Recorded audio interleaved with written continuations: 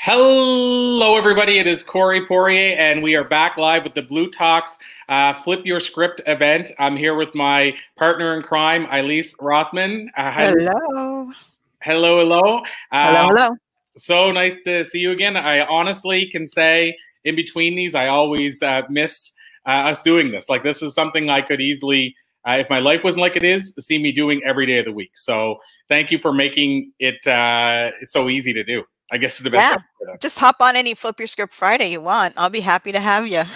awesome. Well, yeah, let, us chat about that. Yeah, I really do enjoy this. And uh, I'm super stoked to talk uh, this week about mindset. Uh, we're fully kicking things off, and uh, we have a guest I'm going to bring up almost right away, only because I had a hiccup, as Elise knows, at the office today, which threw things off. So means I'm sort of running behind the eight ball. Uh, but Elise, can you tell us what's been going on? What's new in your world and in your life? Um, wow. Before we bring our guest on. Is that a trick question, Corey? okay. wow, it's been amazing. It's been amazing. We have had um, quite a few Flip Your Script Fridays since the last event that we had. Amazing guests, always, always sharing new perspectives on how we can, now get this, linguistically reframe the way that we think. Because mindset, we all have a mindset, but how is our mindset? Right? How can we reframe how our mind is set by the thoughts that we think and what we're really focusing on? And ultimately, you know what I've come to just to come to figure out, Corey? Really, everybody's looking for a sense of freedom. Yeah. Freedom. We want to feel freedom. I'm not talking about being able to vote and and you know move around and and and not wear masks or wear masks or anything. I'm talking about internal freedom, a sense of freedom. And so it's just been a great journey. Personally, I walk my talk and I love um, everything that's happening. As you know, I mentioned that we, my fiance and I just bought an incredible bespoke motel on the Weeki Wachee um, Springs here in Florida, and we're going to open it up as a retreat space. So that's super exciting, and I'll keep you posted on that. Uh, tomorrow is an, another event that's an all day event that if you're not here, you can hop on the Solopreneur event. We had Laura Lake as a guest, um, as a Flip Your Script Friday guest as well. So it's the first annual of that. And things are just, you know, things are great. I recognize that we're all stars of our own show and the plot might change, but who are we when we sit in in the seat, right? Of of of where we are in the scene of our show. And so it's always good to recognize who we are, no, regardless of what's going on around us. And this week is going to be amazing. It is definitely um, seeds of success, seeds of perspective shifts will be planted. And I encourage everyone to like, share, and comment because these special guests and thought leaders are really going to help you flip your script in your own life. Well, at least what I want to, not now, but because uh, I want to bring on our guest, but I remind me at the end Elise, or tomorrow, I want to circle back to you and your fiance buying a hotel to turn into a retreat during COVID because you know people always have said to me, "What you know? Why are you running, uh, launching your branded talks, which include the live event component?" Right. So I, that could be a, a good mindset question about flipping your script on something that in years gone past maybe it would be easy to say now's not the time. And you know, I can say bLU Talks is enjoying probably more success mm-hmm. than it might have otherwise because of the fact that people are searching for answers. People are searching for hope. People are home right now, uh, watching this stuff more than uh, more than normal. And uh, we all know there's there's downsides and there's negative stuff going on, and there's we all know there's challenges with something like COVID. But what I'm suggesting is is that that wouldn't be a good reason for me to say let's not do this and think of the lives that wouldn't have been impacted if we didn't. Exactly and look i mean i've become a video cast host a podcast host i'm coaching my coaching business is is growing exponentially. See it's either waiting or creating and I think we need to talk, I would love to have a conversation about waiting or creating, right? We are here to create and we can use any mm-hmm. excuse mm-hmm. to wait. And I've, I, I, I have a question to pose at the beginning of this week. And who are you? Are you the same version of you that you were before this global plot twist? And what's showing up in your life right now? What's showing up in your life that's coming up? I promise you that it's you brought this to the global plot twist. Yeah you got to wear a mask and there's certain things that are happening but the things that are really showing up i promise you brought here to this new you know scene. I call it the scene of the show. You're still the star. So my life really hasn't changed. I've, I've recognized more opportunities and I was and I and I've said yes far more than I have in the past because listen, if not now, then when? Seriously. I mean, come on. If this is not a sign from the good old, you know, mother nature giving us a little opportunity to start, you know, creating instead of waiting, what is? 100%. And that's a good segue uh, to bring our guest on because I think you guys are going to, your energy is going Hi. to more together. Hello. So, Tara Kenzie Longacre. Did I pronounce the last name correctly first You got it. Yeah. I wanted to double check and make sure. Uh, so, Tara, really excited to have you here today. And based on my Hi, nice to meet you. Yeah, I truly think you and Elise are going to really have a similar synergy based on my knowledge of the work that both of you do. And we uh, do have some comments on the side, but I'll leave those for a bit so we can let Tara kick things off. But Tara, where I'd like to start, and I think it's for Elise as well to get to know you a little bit better, is to get you to tell us just a little bit about who you are, your backstory, your journey, and who you are. well, and to even answer Elise's question, who are you? who are you in this global plot twist? oh my god! And the the waiting versus creating, girl, girl. But mm-hmm. I just got goosebumps. Can you see my hair standing? uh, so hello, my name is Tara. And a little bit about myself. So I work more with individuals one to one and and in group settings, but where we're connecting with spirit, and more importantly, like your spirit and your true self. So that's that's what I do and who I am when I work with people. Because for me, I find it's very important to be able to have that connection of knowing that we are supported beyond measure, knowing that we're not here alone. Like you're not alone. I'm not alone. We're really not alone, even though sometimes it feels frustrating, it feels confusing, it feels like we might be alone, but we are supported through each other and our connections, but then even going into powers that are greater than ourselves, whatever that is for you. Everybody's got their own idea or concept or belief about what that power is.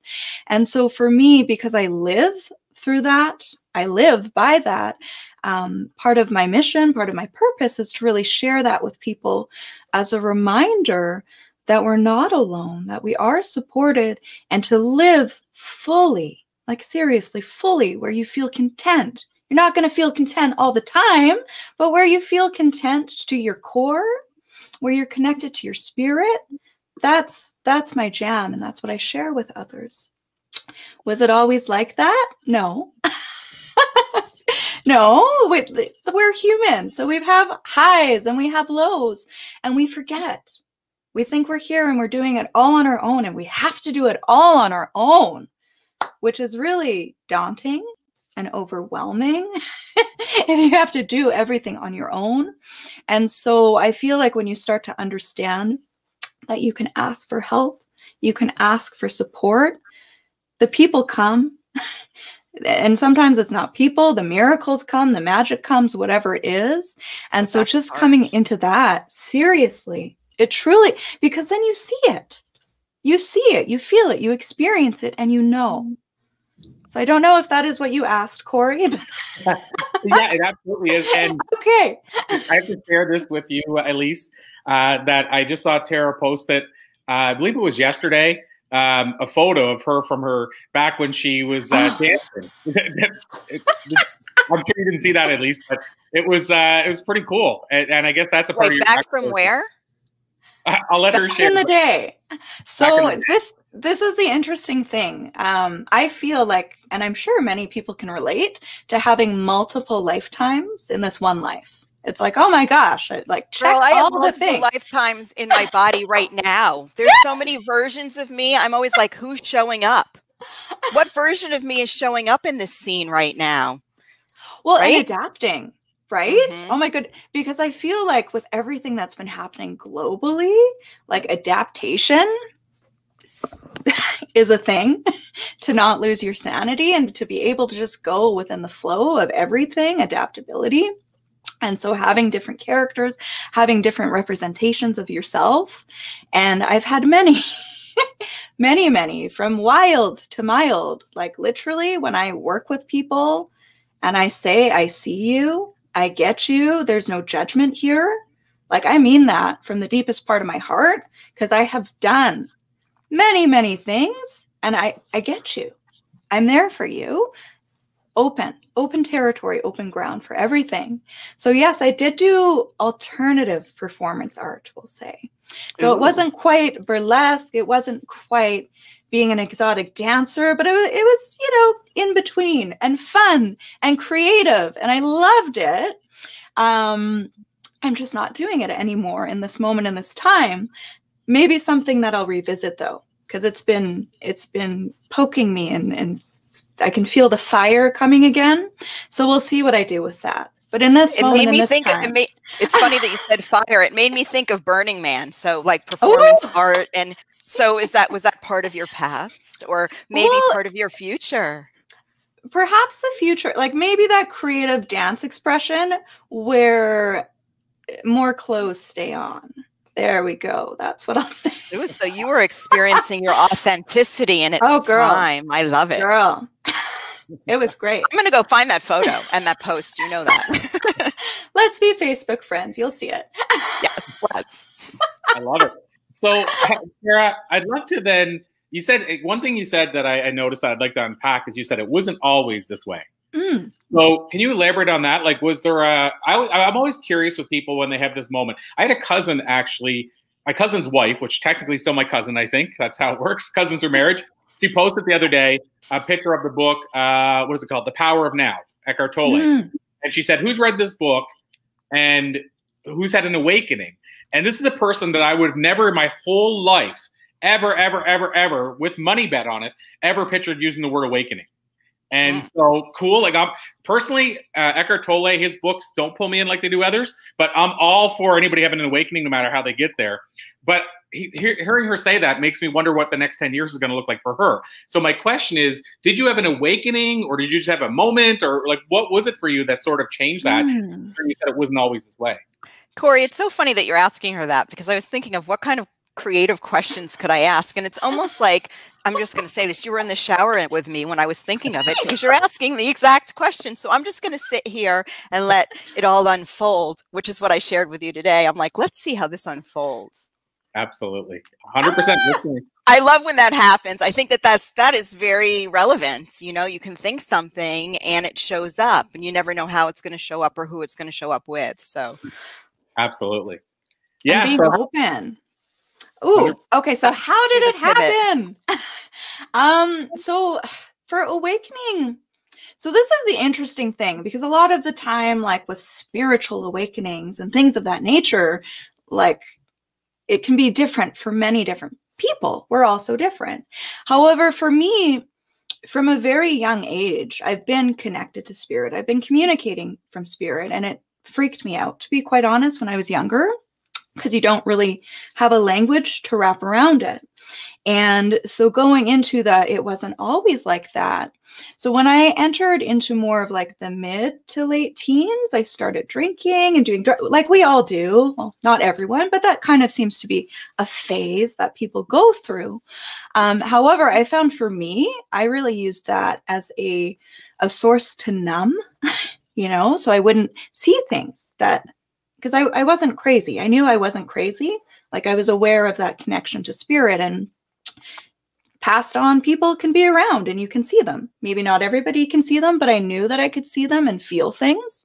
And so I did work and use substances a lot to to numb that and it worked great. Definitely worked great. I don't know if I'd recommend that as the option of I don't want to be connected to the spiritual gifts are happening. So maybe not a recommendation.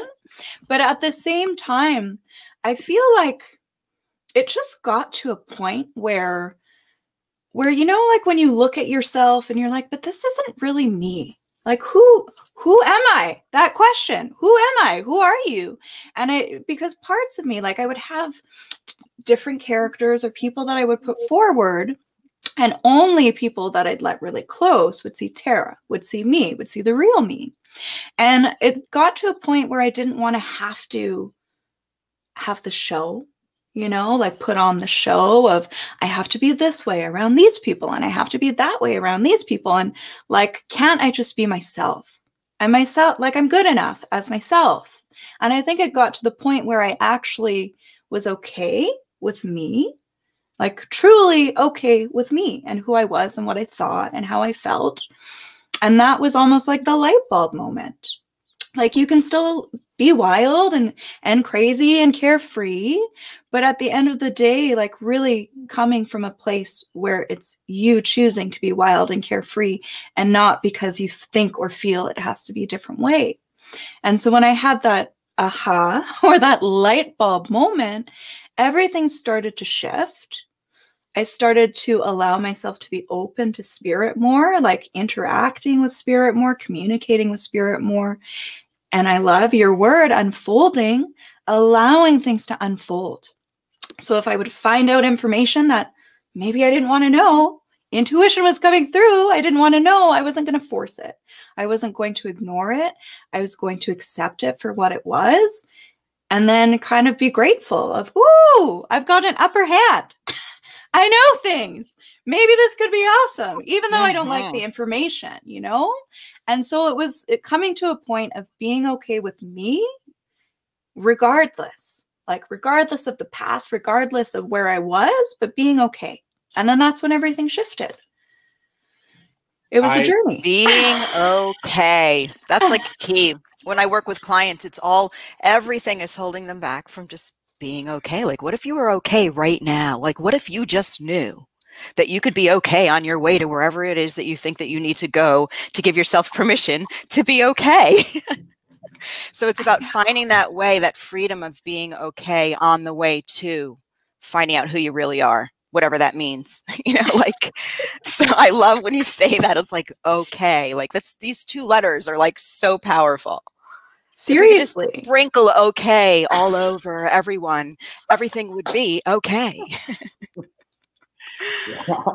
I, I, love that, Elise, and I agree so much.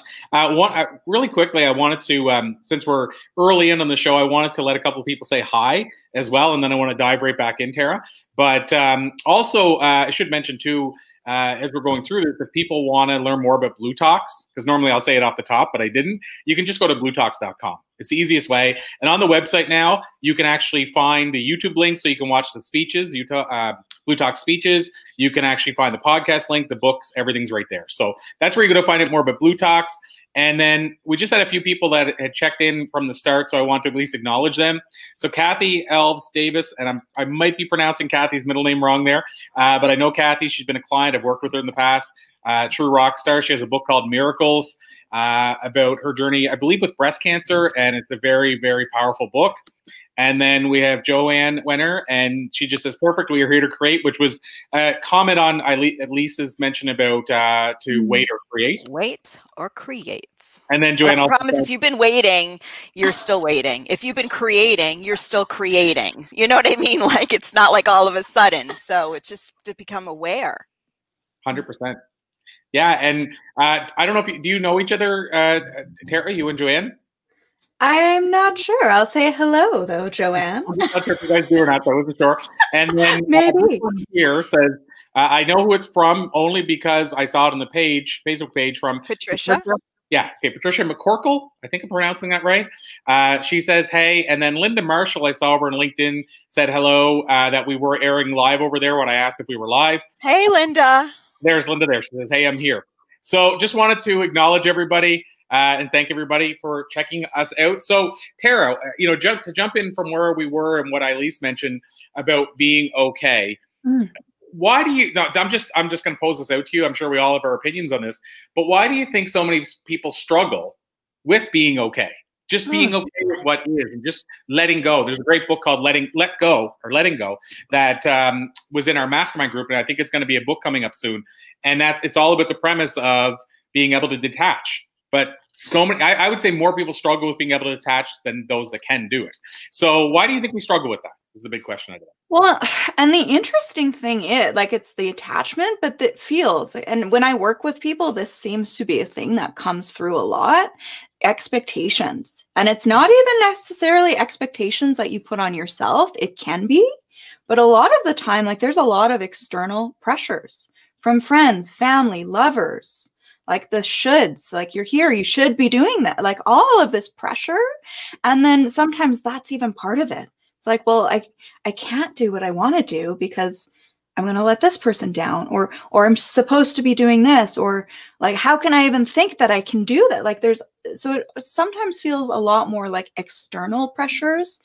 Some but once again internal internally like that doubting the questioning all of that can happen. But it feels like from what I have experienced and from working with other people a lot of the like we'll use the word expectation a lot of pressure from the expectations of the way it's supposed to be. you know? And it's uh, so interesting. Oh, Oh no, go ahead. I'll let you jump in. you know, I'm just going to share a little. It's so interesting because, you know, these expectations are coming from someone else's perspectives. Somebody else's entire reality is different than yours. And they're taking their reality with their expectations, and you're now incorporating it and, and having it become your own. But it's a, coming from a totally different reality because everyone's perspective is really truly their own reality. Mine changes minute to minute. If I shift a thought or flip my script, I have a whole new new reality. It's really amazing. You can have like 10 realities in 10 minutes, you know? And so that's something to think about with this whole expectation coming from the outside from someone else is that their expectations are coming from their lens of perspective, which in turn is their reality. And so the question comes to be, does it resonate and, and is it truly my own? I mean, it's a place to start. Absolutely. I, I, I love that. And yeah, again, I feel like like myself, I know that I struggled with this early on. Is that you, as you said, you put outside pressures on, you listen to what other people's expectations are of you, all these things, and then at the end of the day, what I find most interesting is you know how they say, well, we worry about what that person's thinking of us, and then we find out at the end of the day, most people aren't thinking about us at all. So they're actually okay, and I'm not judging anybody. I'm not. I'm just generalizing, but people are okay saying you need to do this, you need to do that. But the truth is, when they're, after they're done telling us that, we carry that with us, but they don't carry that with them. Right. Exactly. yeah. It's it's just a relief. I find relief in the fact that somebody else's expectations really has nothing to do with my reality. So it's really all about me. I find the relief in that. Like and then also my expectations of someone else, I can only change my we can only change ourselves. So if I'm mm. finding that I'm having an expectation of someone, I do it I stop use my flip the script band and I come back and I say, wait a second, why is it that I need them to do this for me? Because they're not in charge of my happy and I'm not in charge of theirs. Mm. So, so true. And so, Tara, I guess that I'm also curious with the work that you do now, um, what do you find that clients say is the, uh, you know, I'll say for lack of a better way of saying it, the biggest difference they see or the i don't want to use the word transformation because it's such a big big word but you can use that if you want. But what is the thing you find people say this is what's changed for me so a lot it's perception if we want to go with that perception. And for them like that understanding because the way that we work together it's having them be open with their spirit and their soul and vulnerable with me and some of the things that we uncover or discover, whichever way you want to look at it, are things that they didn't necessarily know they were there, like consciously, mm. or there's feelings, like there's feelings that they've been having so intently. And then we bring through information and their mind is blown because they say, I knew it. I felt that. Oh my God. And so that helps to shift it for them of you're not crazy. you're not crazy. This is real. Or maybe these patterns that you've been experiencing that keep coming up for you in this life, it might not have anything to do with you in this life. It could be connected to your soul's journey. And so we can pull things and show them. And then it's that that almost sigh of relief of that mm. knowing, that confirmation, that validation. So that's in the moment. But then even things start shifting in their life, like with relationships. People are either coming back or falling off and disappearing, but they're in this space where it isn't going to shake them as much as it would have before. So it's, yeah, that would be the biggest thing, though that confirmation, that validation. Confirmation's of, huge, right? That their gut was right Like you Big help time. them confirm that they are really connected to their gut. And that's such a gift to be able to help somebody understand, like, and have that connection with themselves. That's beautiful. And trusting like actually mm-hmm. because if it's coming from another like an outside source where, where it's like oh my gosh i was right i can feel that it can build that trust and then it almost gets mm-hmm. you into that that gauge or that barometer of your truth so when you're getting feelings when you're getting knowings you you almost can't ignore it and so then that connects you into okay so this is the truth of where I'm at right now. This is the truth of how I feel. This is the truth of how I think, and not having to judge it, just seeing it, calling it out for being truth. And then how do you want to operate? How do you want to work with it? Love it. And so, uh, a couple other comments. Elise, uh, this is from Joanne as well. I love your flip the script hand movement, shifting body memory. Well, yeah, I got the band. They didn't see it, but I have these flip your script bands that I'll make available too, which I probably should have done way at the beginning of this whole thing. But these bands are such great reminders, like just physical flip your script. Like, do I want to plant this thought, this perspective, and this reality in my life right now? And if not, I must know what I would rather plant or what I would rather seed in my life. And so that movement is flipping, flip it, flip it, right? And then another comment from Linda was are you her daughter? No, my daughter. I think they both probably know. I would think, but Yeah. no, I I'm just dead. kidding. I don't know if maybe there was a connection we didn't know about. Soul family. that's Oh, probably a compliment. I'm daughter. assuming, I'm assuming she gets along with her daughter, so if she does, then that's, I'm assuming that's a great compliment. Um, so Tara, then you know where I'd like to, I guess, dive as well is as far as now we talked about how you kind of had to shift for yourself and what that looked like. One of the things I like to ask people because I like to give people practical tools they can take away, and sometimes those tools are in the form of what you teach people, but sometimes they're in the form of books that have changed your life or Mm. podcasts or just resources. And so, uh, first of all, I guess I'll go the book route first. But are you a reader? And if you are, uh, do you have a book or two that you always recommend to people when you start working with them? I can't say, oh, well, I can. One that's popping into my head right now. I was like, what is that book going to be? Uh, I hope I do it justice, though. It's called Eastern Body, Western Mind. Eastern Body, Western Mind. Um, Judith and Dio. I can't pronounce it properly. I can Google see the cover. Pardon me. Um, and that really works more with the energetics in your chakra system. So if we want to look at that, these are energy vortexes that you have within your entire body. We have hundreds of them, but there's seven main ones that help you navigate and function in society. I wish people could read my mind. I can see the book, it's there. It's Eastern Body, Western Mind by Yes. An- Andonia Judith or Judith, Judith. Andonia. Wait, I'm gonna put it in. I'm gonna put it in the comments. Hold on. Beautiful. Thank you. I'm googling it right now. and I it mean, is a I, I, it's a I did wonderful put it in comments, so maybe Oh. there. are. Let's see. Well, you can put it in too, just in case. I'm Uh, sorry. What did you say?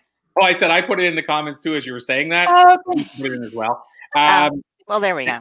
as a, now as a side note, back just a callback from a minute ago, she said my real daughter, as far as the daughter comes. Uh, so just I guess to follow up what we said. So uh, so that book is uh, is one that um, obviously great resource like for energetically but if you want to look at like physical mental emotional spiritual it feels like an encyclopedia that you could use to function and operate in this world and reality that we live in. So i love it. I love it love it love it. Um that, that is going to be the only book i'm going to say that's now the only how one about that's there. and Elise would probably compare that to I know she feels a similar way about Louise Hayes. Uh, a couple Oh, of Louise yeah. Hayes. well. Well, I that's the book that I I've, I've I give it as gifts. I have every client purchase the book if they don't already have it. It's an incredible glossary just to recognize that our body really is sending us messages all the time, and what are the emotional probable causes, and how can we flip our script you know, linguistically reframe the way that we're thinking about certain things and have the body then respond accordingly. So that yeah, that is my jam. Louise, Hay, you can heal your life. You know, everybody Yes. should have it. Take anything you have in the medicine cabinet, get rid of it, and put that book right there. That should be the first go-to in Well, my mind. And on that note, Elise, and, and Tara, I do want to come back, remind me to come back to other resources. But um, one of the things I wanted to mention there is we talked about reframing a few times here, and Elise would confirm that we talk about reframing every time we do this event. I would say probably most of the times that you do a flip your script Friday, like mm-hmm. reframing comes up a lot, and I'm a huge, huge fan of the power of reframing if it's done right. And mm-hmm. I think that's a that's a thing that the average person and I say the average person, I mean somebody who's still skeptical, not ready for woo woo yet, could still practice reframing. And I just feel like people don't realize how powerful it is because you don't even have to, depending on the reframing, you don't even have to fake it till you make it. You could literally oh. just reframe. Like I gave you an example. I know it resonated with a lot of people before, and I won't go through the whole story, but at least you heard it before, where I talked about my mother and I going through a drive-through and a guy yelling at us from behind, and my mother didn't hear him and we leave the drive through and i said did you hear what that guy said and she's like what and she's partially deaf so she didn't hear him and i said oh he was yelling at us and cursing at us and she said what turn this car around i want to go back and have a talk to this guy and then so i flipped the script on my mom and i said yeah but mom it's mother's day best part of add because I gave you the short version of the story. It's Mother's Day. Maybe he saw a mother and a son in the car and he's mad at, us. Maybe his mother and him don't get along. Maybe his mother passed away. Maybe she's in the hospital. And without missing a beat, nothing had changed. My mother said, I never thought of it that way. We should go back and buy that little sweetheart of coffee. Mm-hmm. Reframing but nothing had to change. We didn't have to fake it at all. Just reframe the way you think about it. And it, what it made me think of when that happened was the Stephen Covey story about how a guy was on a bus and had these three kids running all around. And this is a true story, apparently. But Covey was writing and trying to work on his next book, and these kids were really being really noisy. And he said to the guy, "Is there any way you can settle your kids down?" The guy said, "Oh, what? I'm so sorry. I wasn't really here. My, their their mother just passed away, and I don't know how to tell them yet." Mm-hmm. Now, my question is, when you hear that, do you feel differently about that guy that couldn't control his kids? Than you would have if you didn't know the mother passed away. Of course you do. But yes. there's no there. And, it, and again, here, and here's something that we can apply every day without even having to know the story. Like, so this is, so I always ask, I always ask my clients and I ask friends and whatever. I'm like, okay, so here's my question. Is there a, is there something that without exception you believe? Without exception like gravity not like on when you go to church on sunday or synagogue on friday or you know when you're in a good mood but without exception. And one of the things that i believe without exception is that we all do the best we can with where we are and what we know Mm. And if you can take that and apply that in at your every moment of every day, no matter what you see on TV or who you run into, that everybody's doing the best they can with where they are and what they know, then we don't need to know if they just lost their parents or if the guy's pissed off because he sees the mother and, uh, and his son in the car. So to apply that is a huge game changer and what I would call a mind seed to plant in our lives right now because we are all doing the best we can. And when my best changes, so does my best. You know, when mm. when what I know changes, so does my best. So I apply that to everyone all the time. And it just brings it back to me. So if I'm having an issue or a challenge or a trouble, what is it that's in my cup that they're bringing out? Well, mm. and to that point, what's the four agreements? There's the the one of the agreements is about always do your best. And yeah, love, I'm not a big reader. I don't know. I have the book though somewhere. I, I, usually know them, and I usually forget one. Don't make assumptions. I have those two. I have those two. What does it say on there? Does it say it on there? They don't have them all. Don't take things personally. Be impeccable with your words. Be impeccable with your word. Yes. And always do your best. The reason I brought that up, at least, is because of what you just said. What I love that Don Miguel Ruiz, who wrote the mm-hmm. book, says in there about that is he always says, don't and don't think that your best is always the same every day. You can only do the best that you have today. So when he says always or this minute, Corey, right now, yeah. like in two minutes after we have this beautiful woman, Tara, here, like people's perspectives can shift. You know, like it's not even a day. It's like right now, every now, just make it the best now, right? The now, now, now. And life is a series mm. of nows. You focus on one great now and you keep having great nows, you're going to look at your life and be like, wow, that was wow. super easy. And there are all these awesome nows. Absolutely. And the only reason I even mentioned that with the four agreements is because when you mentioned my best is changing all the time, mm-hmm. I want people to realize that your best, like I say, could be different from day to day, even and minute to minute. It's not, it's not just a best that's like, this is my best this year because I learned new things. You know, what he's saying is that your bet you're actually what now key thing here is he's saying your best actually tomorrow could be not as big as your best today.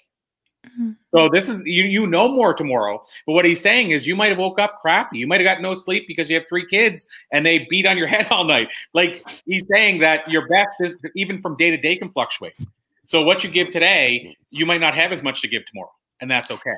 But there's one thing is you can't unknow what you know. No, for sure. But that's but that's what you, that's what you know. Right? might not be your best tomorrow or in five minutes, but you still can't unknow what you know. Absolutely, and that's why when he says your best, for example, you got to remember too, it's a relative. Like your best could be cutting wood. So your Mm. best cutting wood today could be like that's still not maybe using your mind the same way. But Mhm. he's saying like your best. What if you're working at a store? You might not be able to give as much tomorrow as you could today, but don't beat yourself up. As long as you gave as much of that, what you have to give on that day, you gave as much of that as you could. So I just wanted to clarify that, or add that. I should say, not even clarify for yeah, I love it. And so, Tara, uh, so that we don't, uh, you know, that we get you back in here for a minute or two uh, before we have to start winding I down. know we're all like chatty. what, what, um, well, I, I asked you about books. Are you a uh, podcast listener? Do you watch video? Are there any other resources that you would give people normally, or people? And obviously, I understand that the most important resource is you, and they should go with you. And we'll talk about how they can do that and why they should do that. But I guess I'm wondering as well: is there any other place you send people? Just because I'm a big fan of when people say you need to check out this podcast or this book because it gives me resources to work with. So one main resource and it's it's a practice more than anything than a book or a podcast. It's being able to bring your consciousness and your awareness into your heart. Mm, because love I know like this is about flipping your script and at the same time like how your thoughts are very impactful so are the feelings. It's almost like the Mhm. feelings can take precedent for what you're thinking.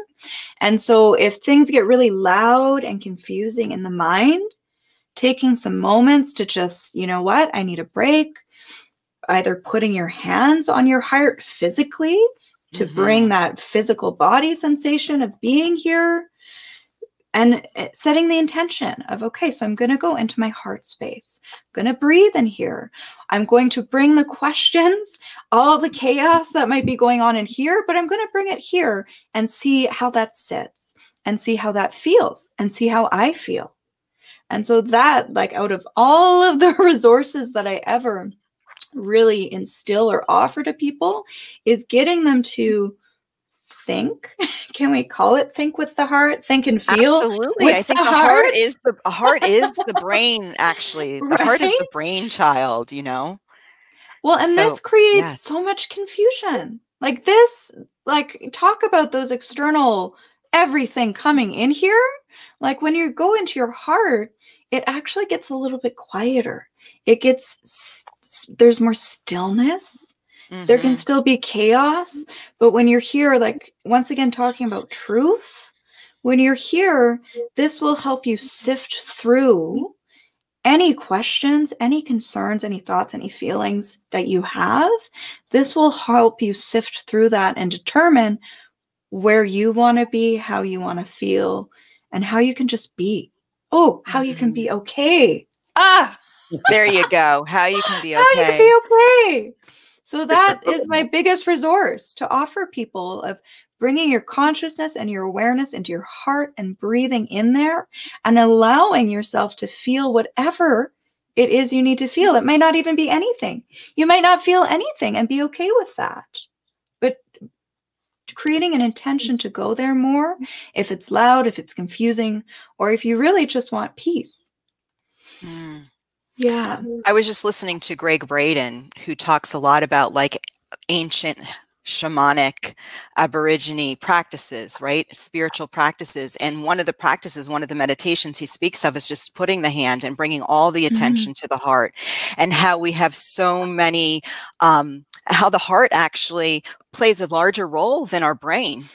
From a scientific standpoint so with- a le- once again, I was just listening to a Gregg Braden podcast or one of his, I don't know, hour long things, and he would talked exactly about bringing your hand to your heart. Mm. And you can feel the difference. If everybody just put your hand to your heart right now who's listening, and you could your awareness is going to go to where your hand is where that where that connection is made that's so and it's so easy right girl i mean hello in the middle of everything just put your hand on if all is all is just going awry awry just stick your hand on your heart And that's the thing. Sometimes it doesn't feel easy though. But like if you like physically putting your hands there, if that helps you get you there, do whatever is going to work, you know? Mhm. Yeah, there, it's a there's a great quote, and I'm going to give her credit for it, but I, I think I've heard it outside of her, and I think long before I met her. So she said it to me, but I, I think she was maybe quoting somebody else. But Lisa Nichols during a past interview said, uh, "Attention goes where energy flows. Mm. Energy flows. Oh, sorry, energy flows Goes where where attention attention Where goes. attention goes. And so when you guys just mentioned that, at least like your attention's going to go or your energy is going to flow there because that's where you're putting your attention immediately. And I just think it's such a, a powerful thing that we forget that on a regular basis. And it's simple, and sometimes we think that simple is invalid. But Yeah. sometimes simple, just because it's simple doesn't mean it's easy, like you said. You know, simple's not always Mm. easy, but simple is profound and powerful. Well, it's to that point. I mean, how, this is how I view it. It's like I said about the um, reframing and the saying that to my mother. I mean, it's easy to say that, but if you're in the car by yourself alone and somebody throws out the middle finger, it doesn't mean it's easy to take a breath and think about how you're going to react. I- I'm not saying that's going to be easy to say, okay, Right. to respond in a certain way. And much the same way, we can say it's easy, but is it really easy for the average person to stop when they're having a really rough time and go, I'm going to put my hand on my heart and feel it? But it's powerful. Not it's simple, easy, but not it's easy. simple. right. It's yeah. something you can do simply and you can make it happen. But the hard part, I think, is doing it consistently. Remembering to do it when you're running into those scenarios. That intention though that everybody is doing their best in every moment with what they have like if that's your baseline and your understanding. And where they are and what they are knowing right now. yeah exactly and so even if they cut you off and they give you the finger and like shake their fist it's like woo i wonder like what side of the bed they got off on or Right. And maybe their wife's having a baby, or like who knows what's going on. I'm always like, you just don't know where they're going to. And sometimes I'm not paying attention and I do the same thing. And it wasn't like I meant to piss someone No. off, right? Like we all are human and we're doing Well- what we can. Well, and and- is it worth your energy though like what like really Mm. is it worth your energy and your time and your attention to to focus on s- on something that like might not even really be a thing you know It's probably not even really a thing. The, Yeah. the thing is between the, our, the thing lies between our ears. That's Yes. where the thing lies. so at least because you met him at the our bLU Talk San Diego event, the film, the guy who was filming, I won't say his name, but you if you remember who did the the camera work, mm-hmm. he him and his his wife, what they do is when somebody cuts them off, they always say, "Oh, they probably just need the bathroom really bad, and they got to get there." first." Yeah, well, there you go. I mean, that's use- all it use- takes. use a different word than use the bathroom. But, Oh, but my point is, is that that gets laughing, it gets them hitting it immediately. Uh, one of the other things I want to say that I think would be powerful for people to visualize. We put this up in our in our home. Uh, we haven't actually put it up in the new home yet, but we had it in our. It was the first thing I saw every day when I walked in. My girlfriend put it together, and actually, where we heard it was through. I'll give her a bit of a shout out. Um, Teal Swan. And it was actually from an interview I did with her at the Hay House conference that we were at, at least.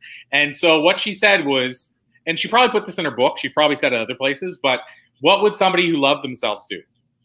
mm, And so what I do is I think of that all the time when I'm making decisions. And you know, and I say to people like uh, my girlfriend who quit smoking a year ago, that's one of the things she kept saying to herself. If I love myself, would I keep smoking? Whenever my son's saying, "You going for a puff, puff, mom?" You know, but it's it's a constant reminder. What would somebody who loves themselves do? And so, and but also, I think it comes to how do you talk to yourself? Your self talk would mm. you talk to yourself that way? And the truth is, I think you do probably love yourself, but I, you know what I mean. Like we don't we don't feel that way, and we have all these other layers. But if you would truly ask, what would I do if I loved myself? You would probably react different than you do sometimes. And the other thing Teal said, which I love, is you can't hold somebody else's hand without your hand being held. Mhm. yes And those two things, I mean, they're powerful. I carry them with me all the time. I had a person in an interview one time. His name is Matt Whitman, and he gave somebody else credit, but I don't remember who the name was. Uh, he said, um, "What do you say? Um, you, it's along the lines of, if you want more love, give more love." Mm, He said, "If you want more hugs, give more hugs." But you can use that with anything. If you want more love, give more love. If you want more hate, give more hate. I mean, the truth is, as we said, uh, uh, the energy flows where the attention goes. So I just want to add those things in that um, to this point, if people want strategies, think about it. What would somebody who loves themselves do? And put that on a sticky and ask yourself when you're about to make a decision and beat yourself up, would you do that if you loved yourself? well First and one. even one one motto that i had is is this coming from a place of love so exactly the same thing just different words like is this truly coming from a place of love for how you feel, how you're treating other people, different choices for situations. Mm-hmm. Very, and if, very and if it's not i use the cup the cup analogy like if you have a cup of water and you knock it over water's going to come out if you have a glass Mhm. of wine and you knock the glass over the wine's going to come out so any situation that's a i would call an adverse situation for Mm. whoever's in that experience whatever's coming up was already in your cup so thank the situation thank the person and figure out what why was why is this still in my cup? You know and why and, and and how can i like get it out of my cup and fill my cup with something else? So when i get knocked over with a global plot twist or somebody cutting me off or telling me i need to wear a mask or whatever it is what's coming up?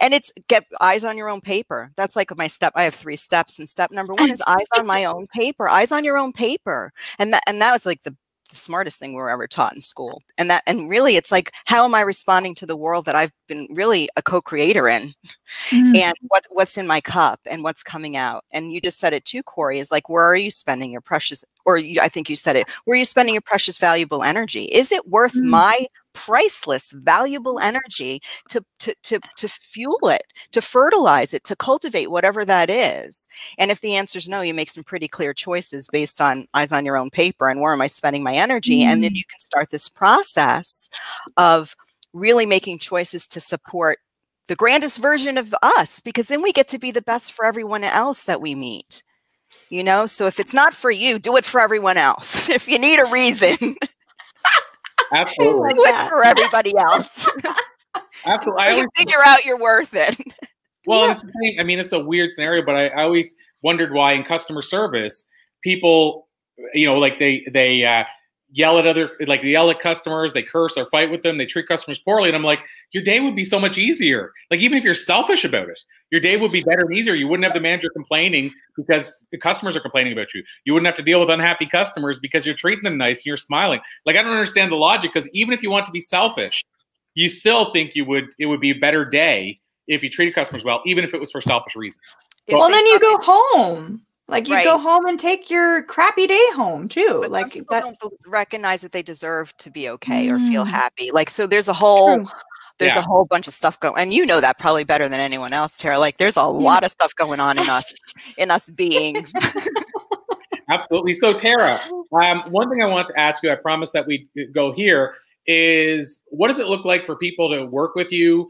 And of course, a big question is how can they connect with you to start that process? Like if they want to reach out, because what will happen a lot of times after this is people will come on and say to me, "How do I reach Tara?"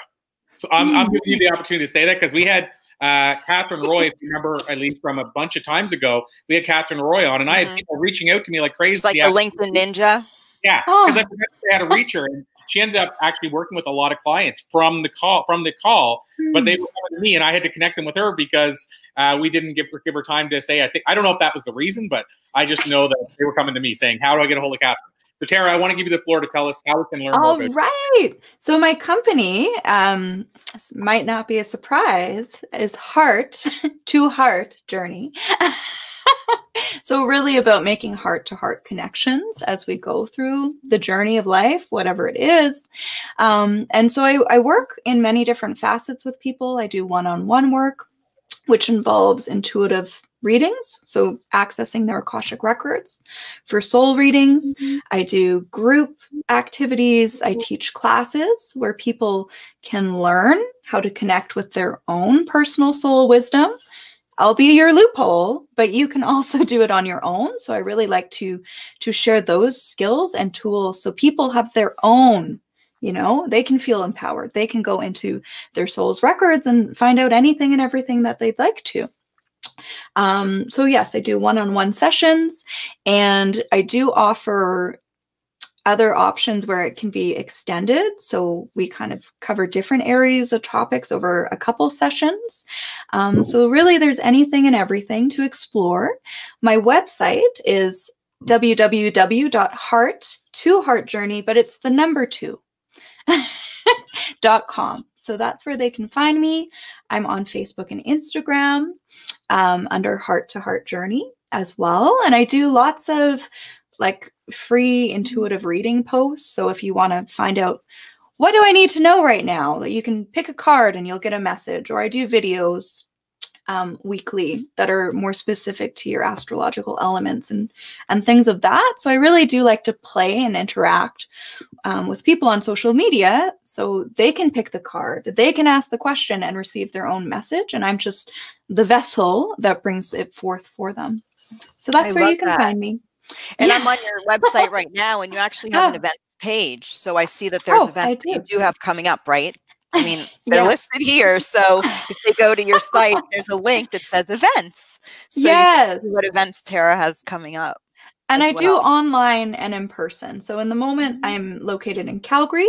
Oh gosh, and I work a lot with sound healing. So we do sound healing meditations, um, and a lot online. So, and I, to be quite honest, I love, I love the abilities that online offers because you can talk to anybody anywhere in the world and work with anybody anywhere Like I'm in So Florida right now, girl. So you're in Florida with me. So Woo! exactly. And you're welcome to come. I, I mentioned before you got on that we just bought this bespoke motel on this incredible canal filled with manatees and and Florida Springs and we're going to create this beautiful retreat space to be outdoors Ah. and be able to honor the climate of the world right now but also to have this and it is very sacred space as well. I did want to mention Tara as well when we're finished here you can feel free to go into the comments and put all your links in the comments so if Oh, somebody okay. comes back and watches the um the replay your information will be in the comments below. Oh, So beautiful. it's something Oh. that you can do because be this right will there go away. So Or right there. away. Right. But this will go away. But if you Yeah. put it in there, then when people scroll, they can see it and it'll stay there. I love it. Wonderful. Awesome. And, And thank you, so- Corey. Oh, absolutely. Thank you, Tara. and uh, I was going to say too, one thing I should do. If you do you know who Emily Harrison is? No. I know Okay. she, you remind me of Emily actually. Like I get the same vibe from you guys. Yeah, I should connect you guys. That's why I asked. She uh, is the founder of the Akashic Academy and Akashic Records magazine. And so Okay. remind me to connect you after after the fact. I'll connect you to her. And I just Please. somebody else she's connected with who does Akashic Records named Laura uh, Knapp who's actually going to be speaking at our bLU Talks Columbia event with Emily.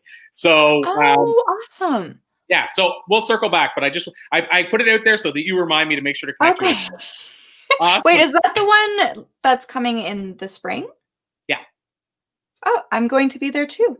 I know. I was thinking that as I said. Oh my It's god. It's going to be the trifecta. Yeah, and, and there's two days. So for people will get to learn about Akashic Records, but I'll make sure I have you based there so it's not Akashic Records all together. But I can't imagine the energy you guys are going to bring to New York at that time. So, Oh awesome. my god. That's exciting. Cool. Yeah. so make sure I connect you with her. Keep me honest Please. on that. Yes. Awesome. Well, thanks, Tara. It's been an absolute pleasure. We'll let you run for you. now. Uh, we'll just call it a for now and uh, call it a to be Yes. and bring you So back in the lovely future. meeting you. So Bye, love. you as well. Ciao. So great you. Bye, everyone. Thank you so much. And Corey, I, I, that was awesome. I thought you would. I thought you would really enjoy that. I did. actually thought it would be a great energy. Thank you for thinking of me. And I won't take much time because we want to bring our next guest on right away. But I only want to say one quick thing Sure. that um, that came to my mind whenever I was talking about reframing because um, I saw like I had a couple people private message me about reframing, saying thank you for mentioning that because that's something I feel I could do. And one of the things that was very powerful for me is I went to see Tony Robbins at a learning annex type conference, and what he did, he did something there because he's big on. You mentioned uh, uh, neuro linguistic programming. And he was really big on that. I mean, some people think he created it. He openly gives credit to Richard Bandler and the other guy who created it, but he studied under Richard. And Tony sh- shared this exercise. And as a salesperson, I was like, why have I not been doing this all my sales career? But it's also something we can all do in our life. And so Okay. what he said was, he said, what I want you to do is turn to the person next to you. Let's say to your right, and I Let's want you turn to each other. Let's see. How do we do that? Go ahead. I, yeah, you'd have to have a second person with you right now because they have. well, you are my second person, Corey. Yeah, so but, but if we turn that way, we won't see each other. So what he said was, uh, turn to the person to whatever side and sell them a pen. And what I want you to do, is, and whether you had a pen or not, but most people did, but I want you to sell that pen. But Mhm. as you're selling it, I want you to visualize the worst event that's ever happened in your life. So, in other words, I want you to get in the mind frame of if you lost a child, if you were in a car accident, uh, if you lost your parent when you were young, what have you. And I want you to get in that energy space, and then I want you to sell that pen. And then what I want you to do is Hmm. turn the other side. And I want you to think about the best day of your life marriage, birth of your child, whatever that is. And then I want you to sell the pen. And what he wanted the other person to do that you're selling the pen to is to describe what your body did. And so the, the worst day of your life, your body was slumped, you were talking lower, you were pushed back, and you Mm. were you were low energy, negative energy. And then the best day of your life, where your chest was out and you're up and you're speaking loud. And basically, what he's trying to do is show us how we can change our behavior, our mindset. And then what I did was I started doing that before every sales call because when you go in sales calls, you're always getting rejected. So it's always a negative. So I start going into sales calls before I walk through the door. I would say, Uh-huh. "Best day my life. And when I would visualize whatever that was, you would not believe the difference in my sales results. But my point of this is we can all do that. It doesn't have to be about sales. Think about when you go into the office every day, why not say to yourself, put my, my mind frame in the best day of my life? And by the way, that's what he did to help Andre Agassi finish his career on a high. Because Andre Agassi, the tennis player, was on a slump. And he went to Tony Robbins, and Tony said, I want you to do this. I want you, I want to get you in. I mean, he has unique ways of doing it, but I want to get you in the space of what you felt like and what you were thinking when you were winning in Wimbledon. And he brought him back to that space so that that way, anytime he was hitting the ball, he could immediately put himself into the right mind space. And it worked. The guy, I mean, the guy, I think he won Wimbledon at the end or he came close after having a big slump. And but all he did was he said, I want to trigger you. I want you to think about best day of your life. And my point is, we can all do that. We can well all listen we all have memories it just seems it seems to be more common i'm just going to say it seems to be more common that we evoke memories that bring low frequency. Because if you can evoke some traumatic moment and still blame your mom or your dad or your teacher or your best friend who dissed you or stole your boyfriend or whatever it is the stories that we bring up that cause this anxiety this depression, this physical chronic illness, we can also bring up the memories that make us feel great and excited, like before we go on a trip or when we're really excited and inspired about something. We can bring up either one. I mean, there's they're all accessible. So what is the choice that we're making and why? Absolutely. So there's so many things we can do. The question is sometimes is to go inward for me and with my clients. It's like, okay, so so hold on a second. I get what you're saying. However, what if this this that you that's holding you hostage from your ultimate freedom i call it and i'm not talking i'm talking about freedom freedom to be okay right now without having to have something happen right? Without because the only reason we want something to happen or we think that we need it to happen is because then we're going to finally give ourselves permission to feel okay for the moment because it's like not sustainable. Because then now the next thing has to happen for us to give ourselves permission to feel better or be happy or whatever it is. So what is it that's holding somebody from choosing to bring up that memory as opposed to because because it's available and it's in our our records right now right in our subconscious memory in our hard drive. So it it's available. But the question i think the first step is what's what is it what is it that could be holding me from making that choice instead? Because it's available. I know i should be drinking eight glasses of water and i'm excited when i drink a glass and a half. I'm like yes! You know i i almost drank two glasses today. Like i know that i'd feel better right that it's better for me if i do it's available and how easy it's to drink you know if i finish this glass in the in the two hours that we're here i'm going to be like yes celebrate. But so it, it's there but what's holding us back? Like that's that's one of the questions like what is it Like, what could be holding me from making that choice? Well, I'm going to play on that what could be theme as a segue to bring on our next guest. okay. So there, there's no specific reason why I said that's going to be the segue. I just said what could be, and we're going to find it what could be any second now. So okay Maggie Slider, can you?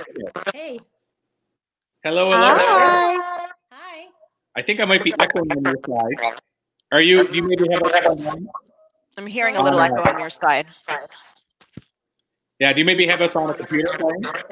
No, you're on my uh, my phone because my computer died. Okay. So I have no computer. You're just on my phone. All right. So there's a bit of an echo, but we'll, we'll work through it. Okay. It could be because I live in the country and I don't have really great Wi-Fi, so I'm using my data. But it's the best I can do. We'll make it work. okay. So, Elise, did you want to jump in and, and uh, introduce yourself to Meg? And Oh. did you hear me? Okay. Yeah. I'm feeling, I'm hearing some static, and I'm not sure if it has to do with Maggie because it shouldn't affect us. I'm not sure. I'm, I'm Uh, not hearing any static. So she's turning a static. We are- So let me, let me try something. I'm going to remove myself a second and see if you hear static. Okay, we'll just chat for a sec. Hello, Hi, how are you?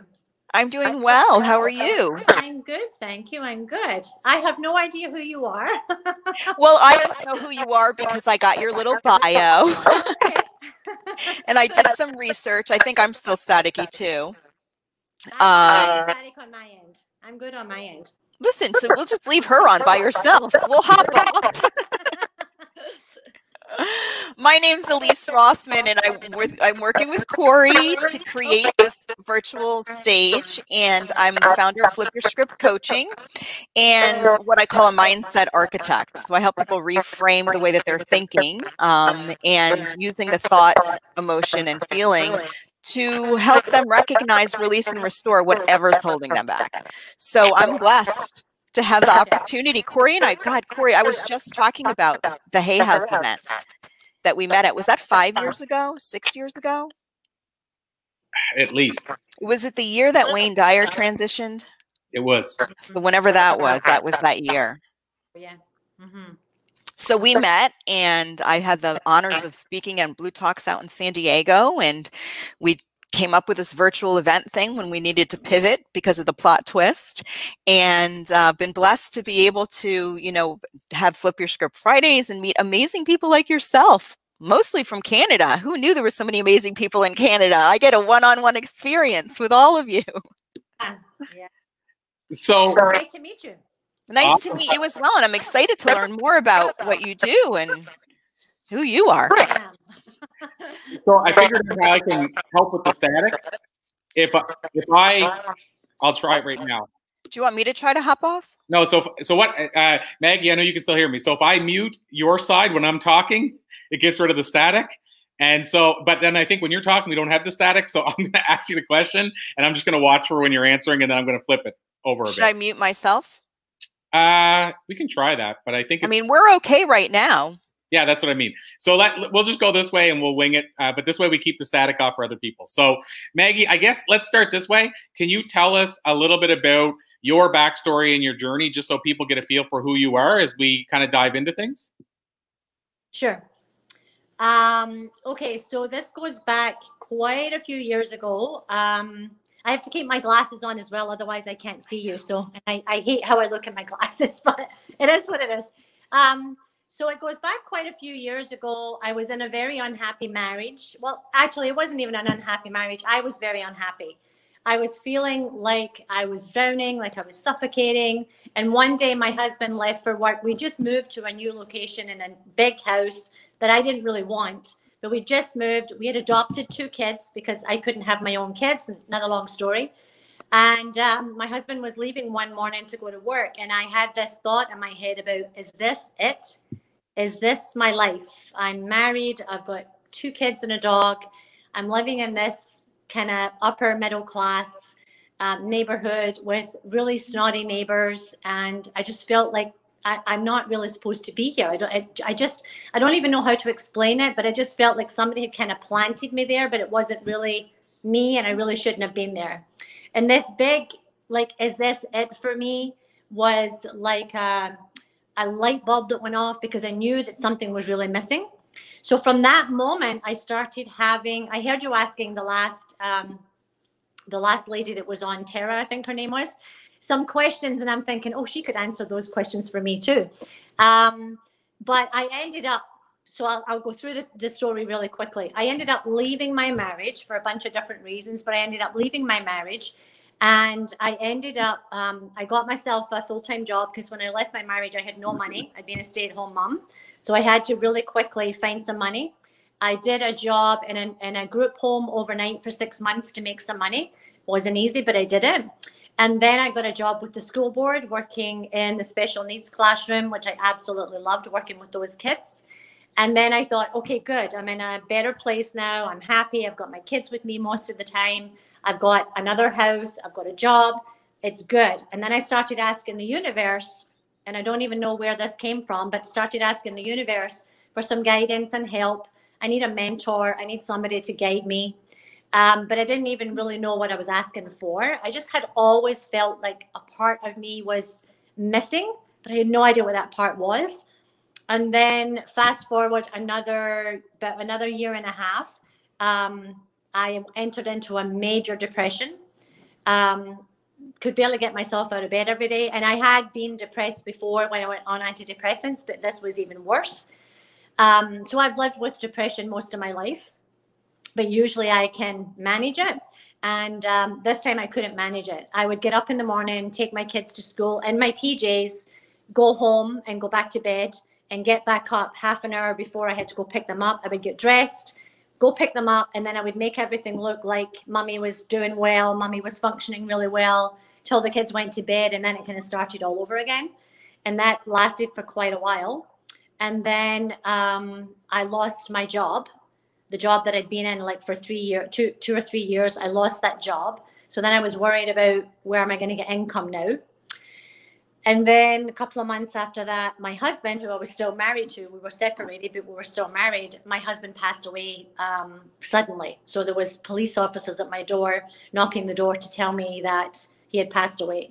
So at that moment, it was like, how do you turn around and tell your kids that their dad's not coming home anymore? And it was um, Boxing Day, so it was like the day after Christmas, and um, it was just such a really I, I felt like I was being punked. It just felt like this can't be happening. After, I mean, I'd I'd almost died 20 years ago. I'm actually a medical phenomenon three times over. I had infertility. I had a whole bunch of stuff, and I won't go into it, but a whole bunch of. I'm a real trauma survivor in so many different ways, but um, it's not what I focus on. And then um, that was on Boxing Day 2012, and then January 12th, I was still in my major depression. I was trying to figure out how to end my life.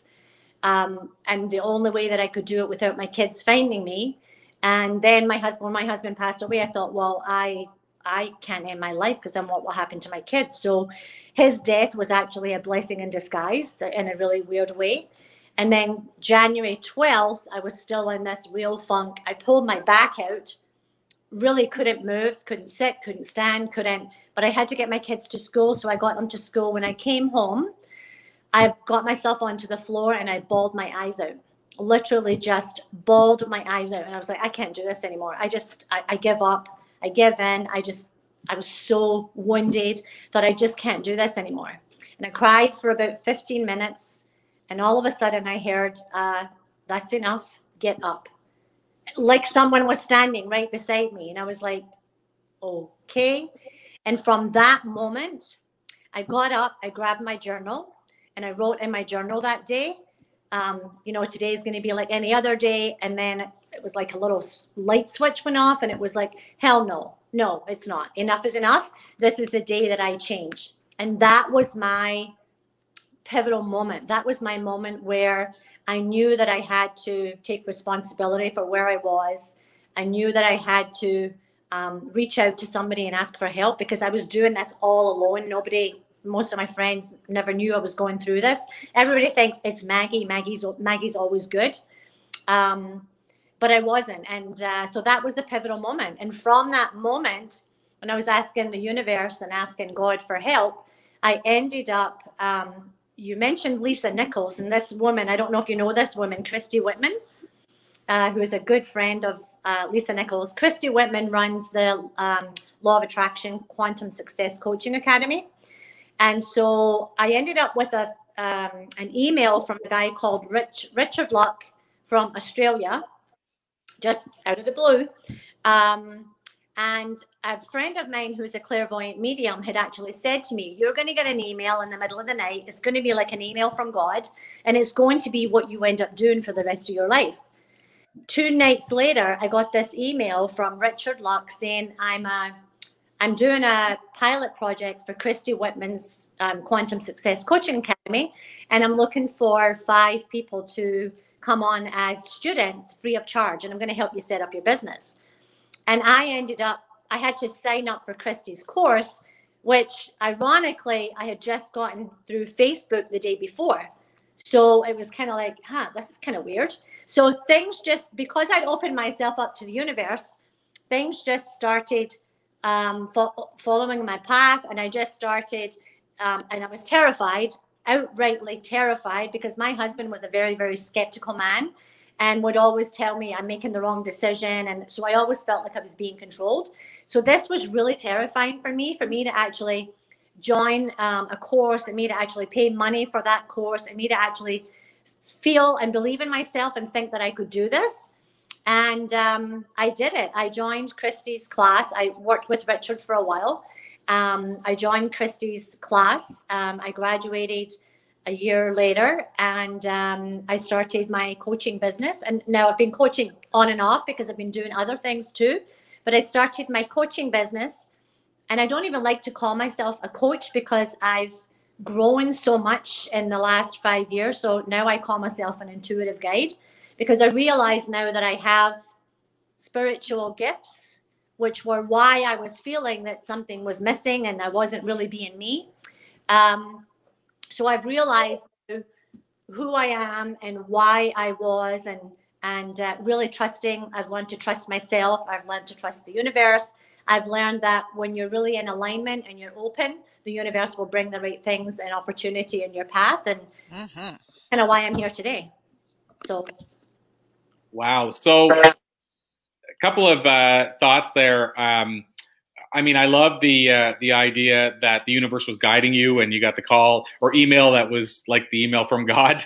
I think that's so powerful. And um, you know, Elise, uh, I'll ask you before I, I, jump in with questions for Maggie. But uh, you listened to that story as well. Do you have any questions that jumped out at you? The burning questions you want to ask? Well, I did. I wanted. I heard you use the word. It was so weird, and I hear that word used a lot. And I just wanted to give you um, the definition of weird, suggesting something that's supernatural or uncanny.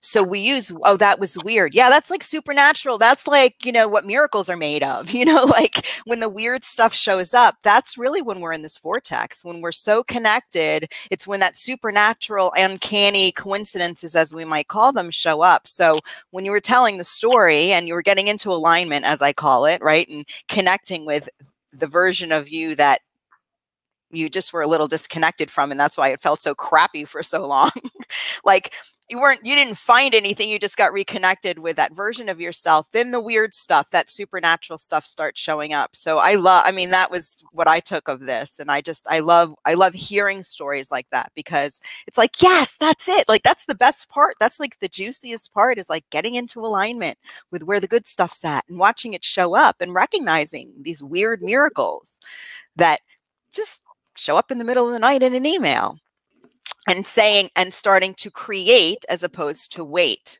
right? You start creating with these weird moments that show up as opposed to wait. You know maybe i'll respond later. Well then you wouldn't have been in the top five. So i love it. And so maggie let me uh, dive in a little bit. So i love that you shared with us because i said earlier today i love finding out when people had that kind of for lack of better word we'll say awakening or that moment that shift whatever that looks like and so I'd love to get your take on after you had this big shift in your life, what is because people always ask me what it was it like for me before, and I know you shared the before. I found my purpose, my calling, versus now in terms of how I feel. Uh, and so I think sometimes people like, why should I even go through all this? We said earlier it might be simple, but it's not easy. Why should I go through all this? What's the difference? So can you talk to us a bit about what life sort of feels like now versus before you had this shift or this moment? Um, you know, I love the I love that when Elise said um, earlier, she said simple. So I have this. I make everything into acronyms, and so I um, discovered this acronym, and it's and it's simple, and it's basically, and this will answer your question too. So how I am now is I get up in the morning and I set my intention for the day. Um, I know what it feels like to be in the darkness, and that's not a place that I want to go anymore. And so we have a choice. We have a choice, um, and and it takes as much energy to stay stuck in that old um, paradigm than it does to actually choose to be happy or choose something better in your life. Um, the simple that I came up with one day, um, I went for a hike, and I've been to this place four times, and every time I go, I trip. And the one time I went, I had just broken my toe a week before, and I went and I tripped and I dislocated my toe on this on this um, hike, and um, I was with my daughter, and uh, thank God there was nobody else in the forest because the profanity that came out of my mouth was disgusting. but um, out of this came um, this simple because when I got, I looked at my clock when I got in the car, it was 11 11 angel numbers. Um, my daughter says to me, Mom, turn on the radio because I feel like there'll be a message there. I turned on the radio, and the song that was playing on the radio was Florida Georgia. Oh, oh, we lost your sound. Oh, the song that was playing was um, simple. And so I like to say now that life is really simple. We we complicate it. So I was complicating my life before by not really knowing um, and then being totally out of alignment. I had no idea what that was. I had no idea what that looked like. And if something felt almost you know, I used to have this saying that it felt so good that it that it, that it felt so good that it was almost illegal. When you when you know that you're in the flow, you're in alignment, you're being exactly your authentic self, and you know who you're supposed to be. It's just a, it's all about the feeling. Um, and so the simple acronym that I came up with, the S is strength, because in this life to survive, we need to be strong. I is intention. You have to have intention for everything that you do. Um, M is mindset because it is all about your mindset and how you think. Uh, P is purpose because in everything in life there's a purpose and we're here for a purpose. L is love, which because that's our natural state is love and it's the and it's the highest vibration. And then E is all, ever evolving. And so I came up with that acronym and thought, am I supposed to do something with this? Am I supposed to but i just really think that that is how we're supposed to live our life using those that, that simple acronym but because we're human beings and because we have um, all these subconscious thoughts that really most of them come from our childhood we make ah. things difficult they all because we think it's supposed to be so when i was being raised you know you have to work hard like you really have to work hard to get anywhere in life. You have to make a lot of money if you want to be happy. You know, you have to, you know, if you've got too much money, you're a snob. If you don't have enough money, you're poor. If you're there was always judgment, there was always put downs, there was always and it was never about me just being me. I was compared to my brother and my sister. I, I was never just me. So where, you know, I, I find that in my life now, how my life has changed, I'm happy because I choose to be happy. I'm happy regardless of, of the challenges and the obstacles that are going on in my life because I choose happy. Um, I, I heard your stories earlier about if someone cuts you off in the car or someone, you know, I just have a nice day. Like I, I do, because if you let stuff like that affect you, that's about you. It's not even about them, right? Mm-hmm. It's coming from you, right? Um, and it, there's a difference between reacting and responding. And so I choose to respond. I choose not to react.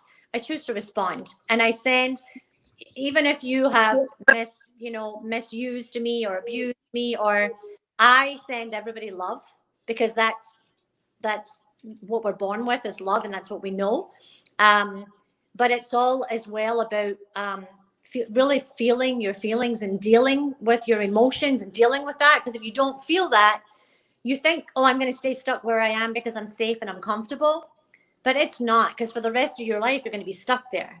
So if you do some work on yourself um, and then every day practice that because that is a practice every day. You don't just change and then okay this is it. It's it's work every day. If you don't do that it's much harder for well for me it was much harder because i've been through depression. I've been in, in the dark. It's not a good feeling it is really not a good feeling. And you're you're not thriving. You're merely just surviving because that's not what we're here for right? So um it's way easier once you know how, but it's getting to that place of knowing how and then doing the work. Or just making the choice without even having to know how. You know, like I think people get stuck in the I need to know how, then I can't make the choice. So just decide and then the how shows up, like the email in the middle of the night for you, you know, like I decided that I want to. I don't have to know how, you know, and that's the how we get stuck in that how. At least oops. I learned was you need to know what. You need to know your what, what it is that you want, and you need to know why you want it. And then the how does show up. The, Mhm. the, the universe will bring you opportunities. And if you listen to your, so I heard you say also in the last interview, it's about listening to yourself. We need to talk to ourselves more than we listen to ourselves. Because when we listen to ourselves, it's not actually even us, it's our subconscious mind. And normally it's negative. So I choose to talk to myself more than I listen to myself. And even my kids will say, Are you talking to yourself again? Yep. and it's not a crazy thing. It's uh, a I am talking to myself. I am I'm you know I'm believing in myself. I'm trusting in myself. I'm I'm reiterating things to myself instead of allowing those negative crazy thoughts to be in my head. I don't my brain doesn't run away with itself anymore. My mouth talks, but I but my brain doesn't you know, I don't sit in those moments. I could be driving and not have a thought in my head for like ages. I just listen to my music or drive with no music and I just I'm just like I'm so conscious. I'm so awake and I'm so conscious and it's a much better feeling than feeling like you're drowning and suffocating every day. Mhm. Much better. So do you do you feel from your own personal experience and I know that you've had many that you haven't even shared, right? The the moments that have happened, I call them the game changing moments, right? They're game changing and life changing. And so you had this moment where you had this 15 minute cry and the voice came, whatever that weird voice was, that supernatural moment that that came to you that said, "Okay, this is enough." So what would you say to somebody who hasn't had their moment on the floor for the with a 15 minute cry and hasn't heard the voice yet because there you know when we do have those moments and and I've had my moments and I have had more than one of them believe me I've had reminders hello you know you were paralyzed once at 18 and all of these different things happen but I do get reminders um every day really. So what would you suggest to somebody who hasn't had that you know hit the bottom rock bottom as we call it yet? Um I personally don't believe that we have to hit rock bottom, but what would you suggest to somebody who's aware enough to know that something has to change, but they just aren't really quite sure what next step to take? So I think the first thing is that you really have to um, let go of trying to control your life because most of us have maybe an idea of what our life should be like and we compare our lives to other people. So let's say i'm a 30 year old i'm not 30 but let's say i'm a 30 year old Could be. woman and um, i have a whole bunch of friends that are around the same age as me. And some you know they're getting married they're having babies there i'm actually telling us this is my story but that's not how i set out to answer this. But anyways um, it's kind of like we have this vision for our life and we think our timeline is supposed to go along with everyone else's timeline.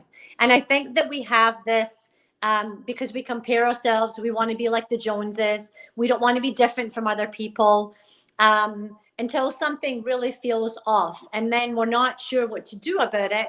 So i would you know um, i didn't know you don't know what you don't know. And you have to go through you have to go through um, all of those things in your journey because I believe that we come here as souls and we came here with a soul agreement, and that all of those things that are in our journey, you may not have to hit rock bottom, but you're going to come up against struggles, challenges, obstacles, and you have to figure out a way to get around that.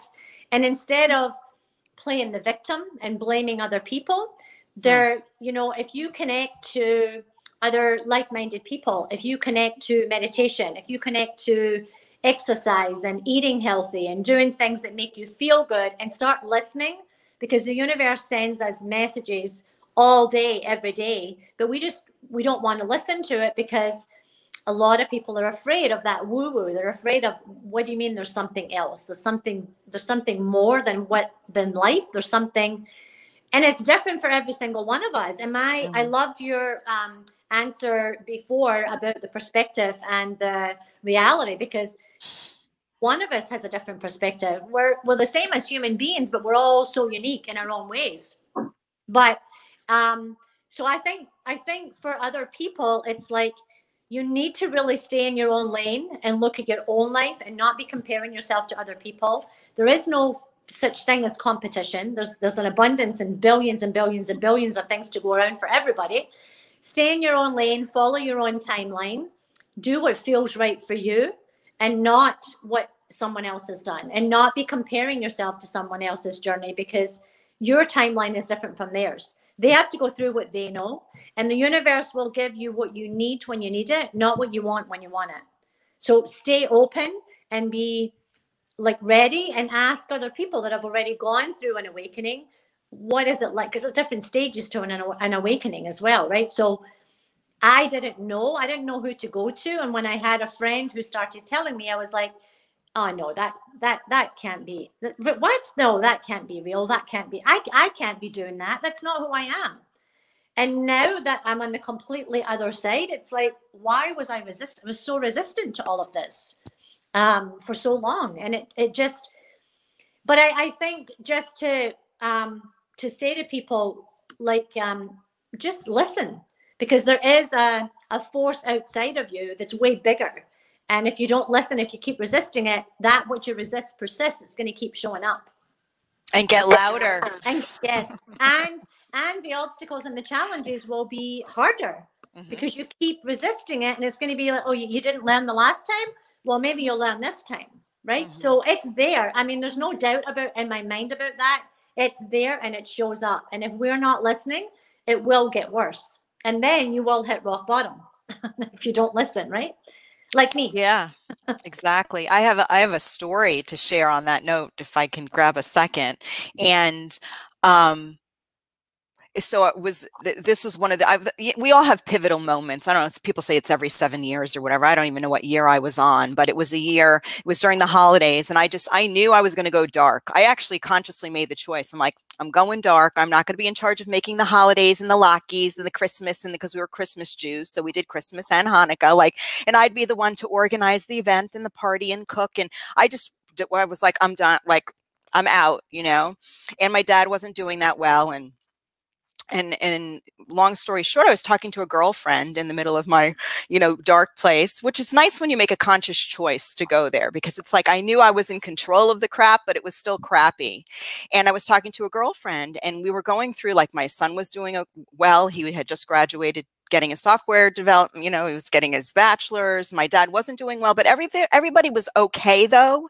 And I realized in that moment that I'm actually okay. Like I was more okay than than I gave myself credit for. I made a conscious choice to kind of clear out some of the muck. I was having a conscious clearing. And I remember saying I almost missed it. Right? This is not what I thought okay was going to look like. I thought okay was going to look like entirely different, but I'm like more okay right now than I've been in a long time or ever really. And so you can you you might miss your okay. So it is uh, uh to what you're speaking of, becoming aware of uh, of where you're at really right now, not compared to anything else, but how okay are you? You might be way more okay than you ever were before, and you might miss it. Like I almost missed how okay I was without having, if I hadn't had that conversation. And a lot of things shifted and changed. And from then on, it's been shifting and changing. And it had before that too. But I just remember that profound moment of, oh my gosh, I almost missed it. I almost missed how okay I am. So I wanted to share that story. So I want to jump in for a sec too, Maggie, before, and I have a follow up question for you here. But uh, one thing I want to share as well, just on, along the same thought, a couple things uh, that you mentioned. One, uh, you talked about, um, I can't remember the exact wording, but about uh, the how will kind of work itself out. And so I have this quote I always say: if the why, if your why is strong enough, you'll figure out the how. Um, but also, I wanted to add because I think it's it's sort of timely as far as the um, we're talking about uh, this awakening that people have.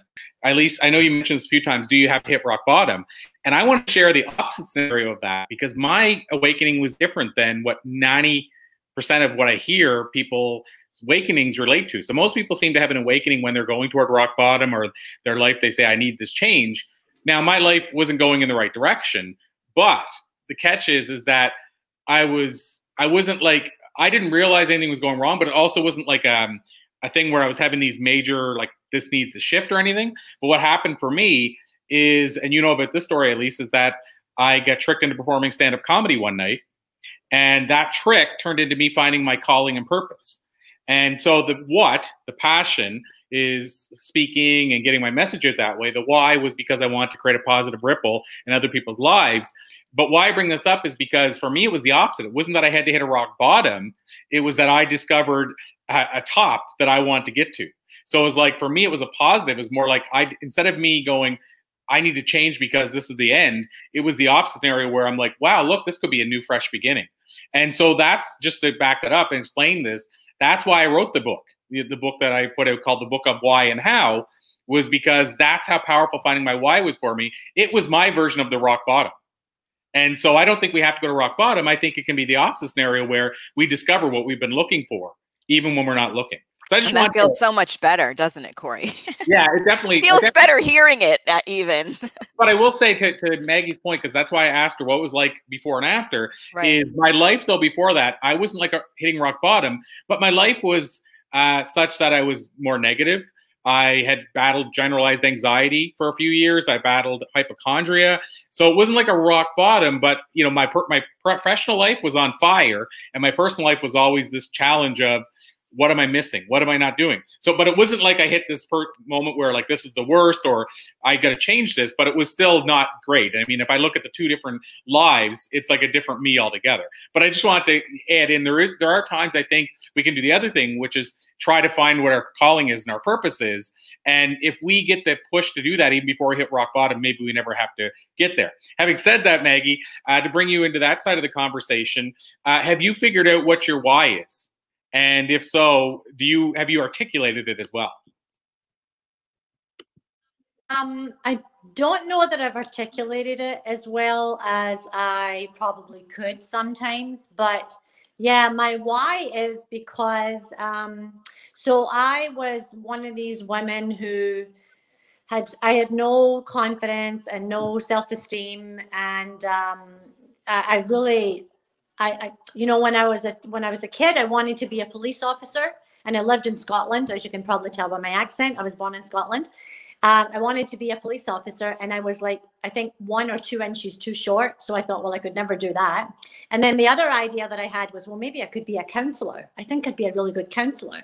But I never really shared that with anybody because um, a lot of British people are very, well, especially when I was a kid, um, you went and you worked in a factory like you go and you get a good job in a factory and that's your life kind of thing right? So they didn't really have a lot of like aspirations and you know want to be something really better.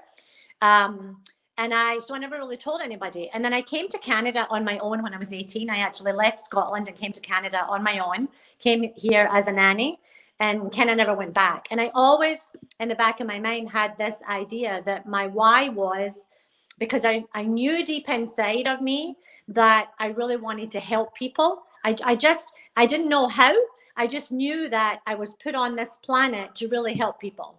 I knew that I, there was something inside of me that I had not allowed yet to come out, but I knew that it was there. Um, and I knew that even if I did it for free, even if I just kind of fell into something, uh, that was what I was going to do. But I did not believe in myself. I didn't believe that I could actually do it. Those little voices in my head, like, who do you think you are to think that you could counsel people? What could you tell people to help people? And then I ended up getting a job. I did get a job with Metro Police, but not as a police officer, but as a special constable working in the courts. And I did that for that became my career for 14 years. So I basically locked up rapists and druggies and whatever, um, which was very different from uh, where I thought I was going. Um, but I absolutely loved the job. And I, although I was working with, um, you know, different um, people in society, I I I helped them, even although they were there for, you know, you you've been accused of doing certain things. I I always found empathy, and I always try to make their day a little bit better because they're sitting in jail. It's not fun sitting in jail. And I always try to do something just to make them laugh or smile or just to, you know, to um, uh, make them feel a little bit better about the situation. And that's kind of who I am. And I'm very like, um, uh, like I speak my truth. I'm very honest. I'm very, I will challenge you, not in a like I don't believe you kind of thing, but I will challenge you to really look at your core and look at your beliefs and and is that really what you feel or is that what you've been taught? And um, so I think my I, I think my why really is because I did have to struggle so much in my life. Um, and I know deep down inside that this is my purpose. Um, and and I don't really know how to explain it as my why. It's just something that it's just within me. It's just uh, it's like an inner knowing. I just know that's what I'm supposed to do. So um, it's just it drives me every day. Like right now, I I'm part owner and um, I'm the manager in a restaurant. And um, sometimes, you know, customers will come in. I mean, most of our customers are great. I'm, I'm uh, operating a vegan restaurant, and my big thing is I'm not just selling you food. I'm offering you an experience when you walk into my restaurant. Mm. So the minute someone comes in the door, it's like, hey, how's it going? How's your day going? Where do you come from? Where? And I start a conversation with them, and they always leave a little bit brighter than they were when they came in. And that to me is my why. That's my, I'm here to make other people's lives just that little bit better, even if it's only for a split second in the day. Um, that's my why. And that's why I do it. It's just an inner knowing. I can't really explain it any better than that. I think you did a great job. You, are brightening up the world, girl. What else can you say? Just, you're making the world a brighter place. Yeah, it's just a, it's just within me. And food is the best way to do it. Mm. And so, Maggie, as we start to wind ourselves down, um, I'd love to get your take before we ask you how we can connect with you and maybe learn more, whether that's on social media or wherever your preferred places, uh, and how people can work with you. Uh, I'd love to ask you. Uh, I asked this to the last guest, so I, I'm going to try to ask this most or as often as possible this week. But are you a reader, a book reader? And if so, do you have a favorite book or two to recommend or a podcast or whatever your chosen medium is? Okay. Uh, so I love videos. I love um, I love just finding random videos on um, on uh, YouTube. But uh, one of the books that I've read that's amazing, but it's a little it's a little too deep for some people is um, Dr. Dr. Michael Singer, The Untethered Soul. Um, it's an amazing book, and it really helped me to hone in on um, who I am, why I think the way I think. That I'm not, I'm not weird. I'm not, but I'm not normal. And what's normal anyway, right? I'm normal for me. Um, but that's one of the books that I, and I'm trying to highlight the parts that are really important. But I've highlighted almost the whole thing because it's because it's such a well written book. The other book that I read, and it's not a spiritual book, but it really had an effect on me, was Michelle Obama's Becoming book.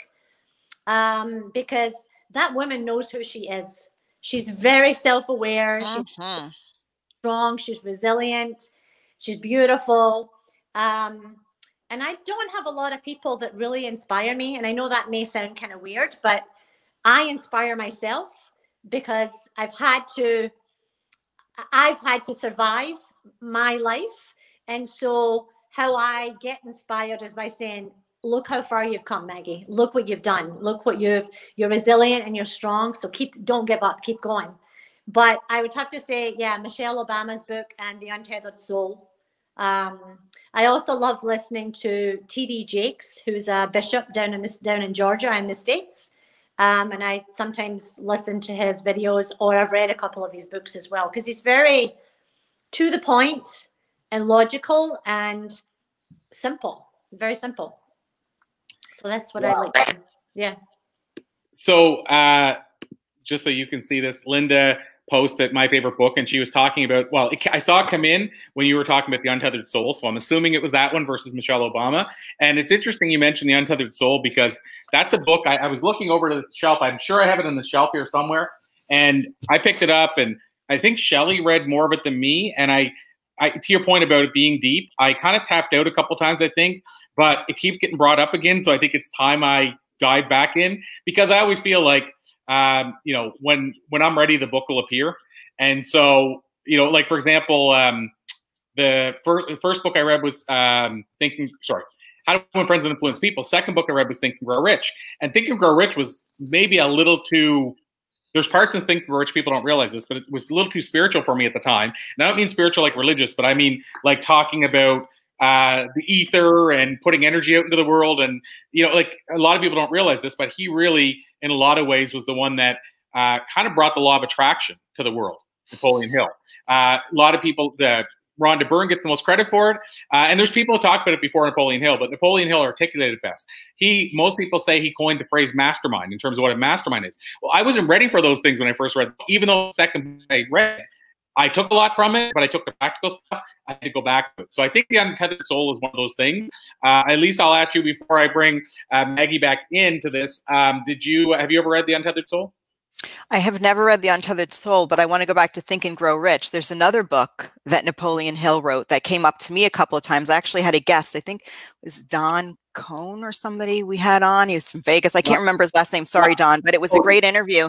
And he brought this book up to me again, and it's something I highly recommend. And it's called Outwitting the Devil. And it was also by Napoleon Hill. And he actually transitioned, as I call it, first before the book, actually, the manuscript was published. And it is incredible. And actually, it sums everything that every single one of us that is doing here on the bLU Talk stage, whether it's the Flip Your Script experience or Amplify Your Message, Yes. And I have to tell you, I'm not a reader. So I actually went onto YouTube and I don't want to like say this out loud, but it's free, the entire book. And what I loved about it is it's audio and the devil and Napoleon Hill have, there's two different voices. So you actually have this, the, the voice of the devil and the devil is really a metaphor. Okay. So, because when I first got the book, I was like, I'm not really into the whole devil side of things. You know, like I'm a flip your script, Abraham Hicks, you know, focus on, you know, find a better feeling thought. And when I, when it came up again, I I always take the advice, I take the message, and I went on and I got the audio, and it was game changing for me. And it really was a confirmation more than anything else. Like I find things as confirmations. I'm on the right path, girl. You're on the right path. You get it. Because, you know, we question ourselves, and I love getting those nuggets. Like both of you today are confirmations for me. Always, I'm looking at a mirror. And uh, Outwitting the Devil is definitely something I highly recommend. And when you figure out what the devil is, you're going to recognize that this whole thoughts create that the thoughts are our real paintbrush for us being creators in the world and when we start to use them intentionally it's it really is a game changer and when the devil gets a hold of you which is a metaphor um, it pulls us out of alignment and so a lot of us are really just out of alignment. I mean really we're always there's always an alignment and we're just out of it. So being in depression means that you have more of an opportunity to be so in alignment and so connected that it's awesome. I have one question that i would like to ask maggie um, and i always kind of ask our guests this because i talk about thought weeds and these are the weeds of thought that get form beliefs from childhood. And i always ask about my oops. Do we, do we still have maggie there I don't see her on my screen. Can you hear us, I Maggie? wanted to get her mind seed. Hmm. I'm not sure what happened. Okay, well, Corey, might, you're going to have to share a mind seed with us then. okay. Well, she, We have to leave something. she might appear right back up, but I want Okay. since uh, since this happened, uh, I'm going to mention one thing about outwitting the devil, and maybe I'll take a mind seed from that book. Uh. Okay. we're reading it right now. You mentioned about the um, uh, outwitting the devil and published after he, he passed on. A lot of people don't know the story behind this, but he wrote the book one year after Think and Grow Rich. I wrote the manuscript, Yep. and what happened was his wife wouldn't let him publish it. Well, I he was told that he wouldn't last. Even like during this whole writing of this manuscript, he was like, they were, I mean, he was warned not to write this book for for reasons that we don't want to give away. We don't want to like, but go ahead. Well, yeah, and and but his wife was scared. The reason behind her uh, not wanting it published, her reasoning was she was actually working for a minister, and she he brought her on, and I think he brought in Napoleon to do some lectures or something. But she was worried how the religious community would view the whole concept of how he was pitching and presenting the devil, and she was also worried about because you got to remember the time we're talking about, 1938. Mhm. It just it was too deep and too much. But the interesting part of the story is so she, she said you're not allowed to publish it until after my passing. Well, he passed in 1970. Now the book was written in 1938.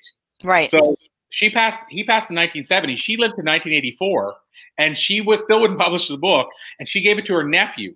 And Yes. her nephew wanted to publish it, but then his wife said, "You're not publishing that book while I'm alive."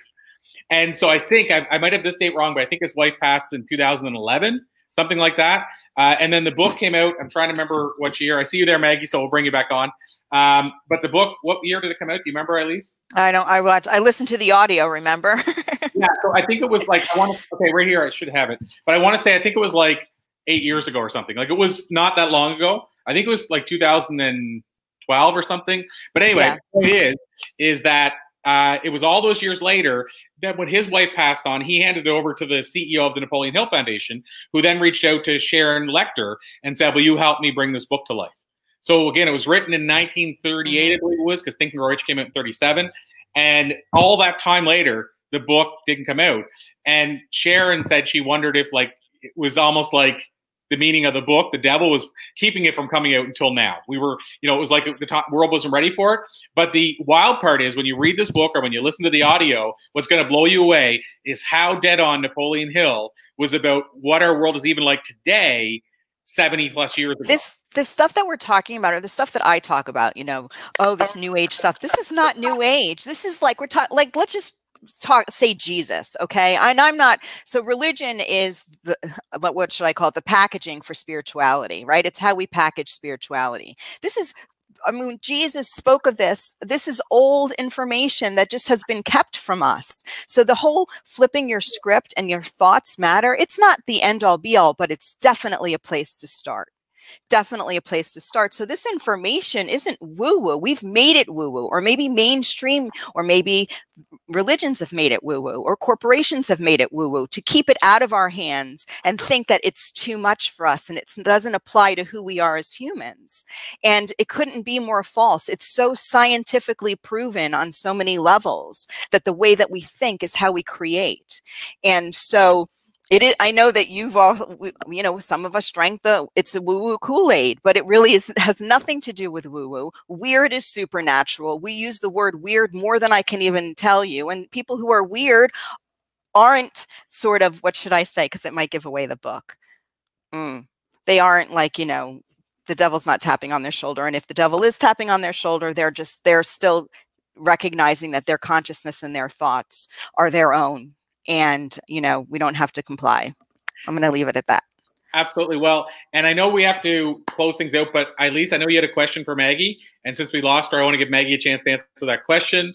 Uh, and then, Maggie, if you're okay, I might have a quick question as well. And then we'll just find out how we can learn more. So, Elise, did you want to ask the question for Maggie that you Yes. had originally wanted to ask? yes this is a- this is a question that i ask all of my amazing beings that i get to come in contact with uh, so i talk about thought weeds and belief weeds and these are the thoughts and the weeds that have been rooted since childhood but i also believe that once these weeds are pulled we need to replant a seed of thought right in our fertile mind and i'm wondering if you would have a mind seed as i call them to share with our viewers that they could maybe help them shift their perspective or or plant in their mind in place of a thought weed um, and help them start to grow um, a happier healthier more abundant life that they love and love themselves in Hmm. Um, okay, so what comes to mind is um, this is something that I learned a few years ago that most of our subconscious thoughts, most of our limiting beliefs, all come from, I'm going to call them common denominators, three common denominators. So they are your parents or caregivers, anybody who raised you, anybody who played a part in your childhood, raising you in, in your childhood. Then there's trauma, because we all experience some kind of trauma. None of us are exempt from it. And then there is, what's the third one? Oh my gosh, I said trauma. Uh, oh, and then repetition. Because when we're children, we are like everything's repeated. Our schedule for school is repeated. The way that we're disciplined or punished is repeated. The things that we're told is repeated. The things that we do is repeated. And this, until we're like age six or seven, we have no subconscious. Everything is just real to us and, and everything is like oh it's exactly as we as we um, picture it then we start to um, take on limiting beliefs and we start to take on other people's beliefs which become our our mindset um, to replace some of these beliefs so part of the thing that i do in my coaching is that i dig out these I'll call them weeds because i like thought weeds yeah Uh, but I, but I dig these out of people and they don't even realize they have it because it's dug in deep into their subconscious, right? So it's like peeling back the layers of the onion to get to the core because those things are not what make you you. Those are things that people, trauma, repetition made you believe that you were you. So if you could have, um, if I could, let's say, um, wave a magic wand and make you or give you options as to what you want your life to look like now and who you want to be at this time because we're always becoming somebody different. And for each new level of our growth, we need to become a different person. Because, and you mentioned this, I think, as well, Elise that we're never the same people like for two seconds and we're always changing, right? Our, our, our thoughts are always changing. So I would, you know, if we can spend so much time being stuck in the beliefs of other people and being stuck in the past and being stuck in things that really don't serve us, just to take a chance on, you know, that question we always ask, what if? And it's always in the negative. What if this is a risk and what if it doesn't work out? Or what if I fail? Or what if people don't like me? Or what if? Try asking the question, what if in the positive? what if this is the best decision that I could ever make? I love what that. What if this is the first day of the rest of my life and it's way better than all of the years before now? Like, what if I make this decision today and everything changes for me?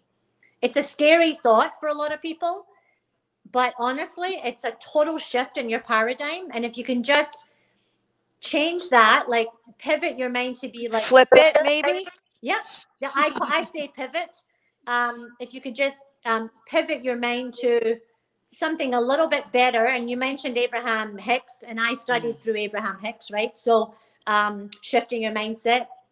But even just pivot and ask that question. And if you ask that question and you repeat the what if for six to eight seconds, so it's like a little exercise. So you say, what if this is a great decision I'm making? What if things work out? What if this feels really good when I make this choice? What if, and you keep doing that all in the positive for six to eight seconds, it completely changes your energy and completely sends out a different vibration to the universe. So that would be my little. I love that. Replace the seed for six to eight seconds. And honestly, if you do that, you can feel you feel different at the end of six to eight seconds. And it's just your mindset. You're telling your mind something different. That's it. It's simple.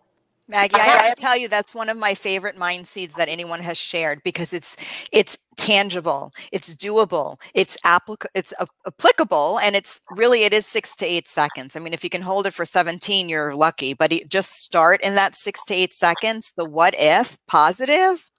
I'm doing it. I'm starting it right now. It's actually 68 seconds. Oh, 68. I thought you said six to eight. it's six to eight seconds. So when you're doing it, it feels like, oh my God, I can't think of anything else to say. But if you can get into the practice of doing that to just change your mind, to change your, your vibration, it makes a huge difference. You feel like like your energy has shifted and so the, the world has been lifted off your shoulders. And watch what shows up. That's the best part. The most exciting part is that things are going to like miraculously show up in your life like right away even. Yeah and that's the and that's a, the fun part. and it's a tiny little thing. It's just mm-hmm. a tiny little thing that you can do. I like keeping it really simple. Yeah. awesome. Well I, I, love that Megan. so I uh, I love it. So I've been trying to keep track of when I'm turning off and on. So I love that, Maggie. So thank you so much for sharing that. Thank you for everything you've shared today. Uh, the last part, I mentioned one last question. It's probably the most important uh, for those you mentioned when you're working with clients that you're coaching. You mentioned the restaurant, if you want to share where that is. I want to know when I come with my RV and we can come back into Canada. You know, I'll be showing up. Absolutely. So, Aggie, where would people connect with you? Uh, where would you send them? What would be the hub or the if it's social media? Where would you send them? I'm just wondering where you would tell people to connect with you. Okay. So where you can find me is on Facebook. That's my thing. I'm from the older generation, so Facebook is my thing. Um, I have a personal page on Facebook, just Maggie Slider, and then I have a business page, and it's called Find Yourself Coaching, um, and it's on Facebook. I am on Instagram too, but I'm under Instagram and uh, as Maggie It Up on Instagram. Um, and my restaurant is in Mississauga. Um, it's uh, 88 Burnhamthorpe Road West. It's right across the street from Square One. It's on the main floor of the Sussex Centre, and it's called Copper Branch. And it's a franchise that opened up four years ago in Ontario and started in Quebec. And I think we are the 20, 20th or 22nd um, location in Ontario. And the food is amazing. It's a gorgeous restaurant. The atmosphere is fabulous, and the, and the the customer service is amazing. So is it eat? Is it eatcopperbranch.com? Uh, it's, uh, um, yeah, I think there is eat before it. Yeah. Yeah. I'm on there right now. I'm going to Yeah. share it. Yeah. And the food is amazing. Like you don't need to be vegan to Oops. food is amazing. Yeah.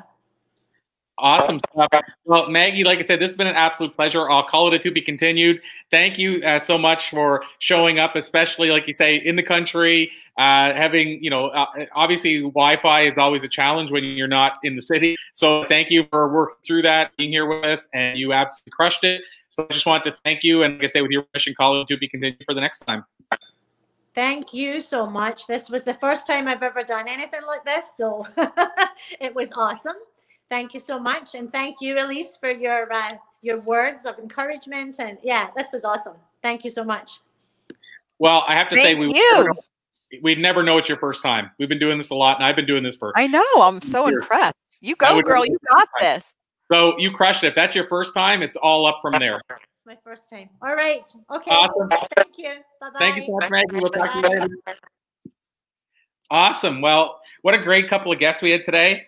I, uh, I and it's funny because we went a bit over time, but we actually had a shorter day today, so kind of balanced out. And uh, and we went some directions that I didn't think we'd go, like talking about outwitting the devil. I never saw that coming. Um, I For me, right? Like the non-reader, always like, I'm going to throw this one out there because I just, I just finished listening to it, and it was a game. It was a confer. It wasn't a game changer for me. It was a confirmation. it's well, I will say, like you said, I don't want to. For people that are discovering for the first time, I don't want to give anything away, but I will just say, like, as a obviously people probably know that I'm a pretty big Napoleon Hill fan. Um, I just got his brand new book. Uh, it's technically his new book. They released the book with his stuff on uh, Andrew Carnegie. So essentially, he wrote up 17, uh, I think 17 lessons that he learned, and I, the first book has four, I think. So they're going to probably release a different book every few years. And then Now I'm going check that out.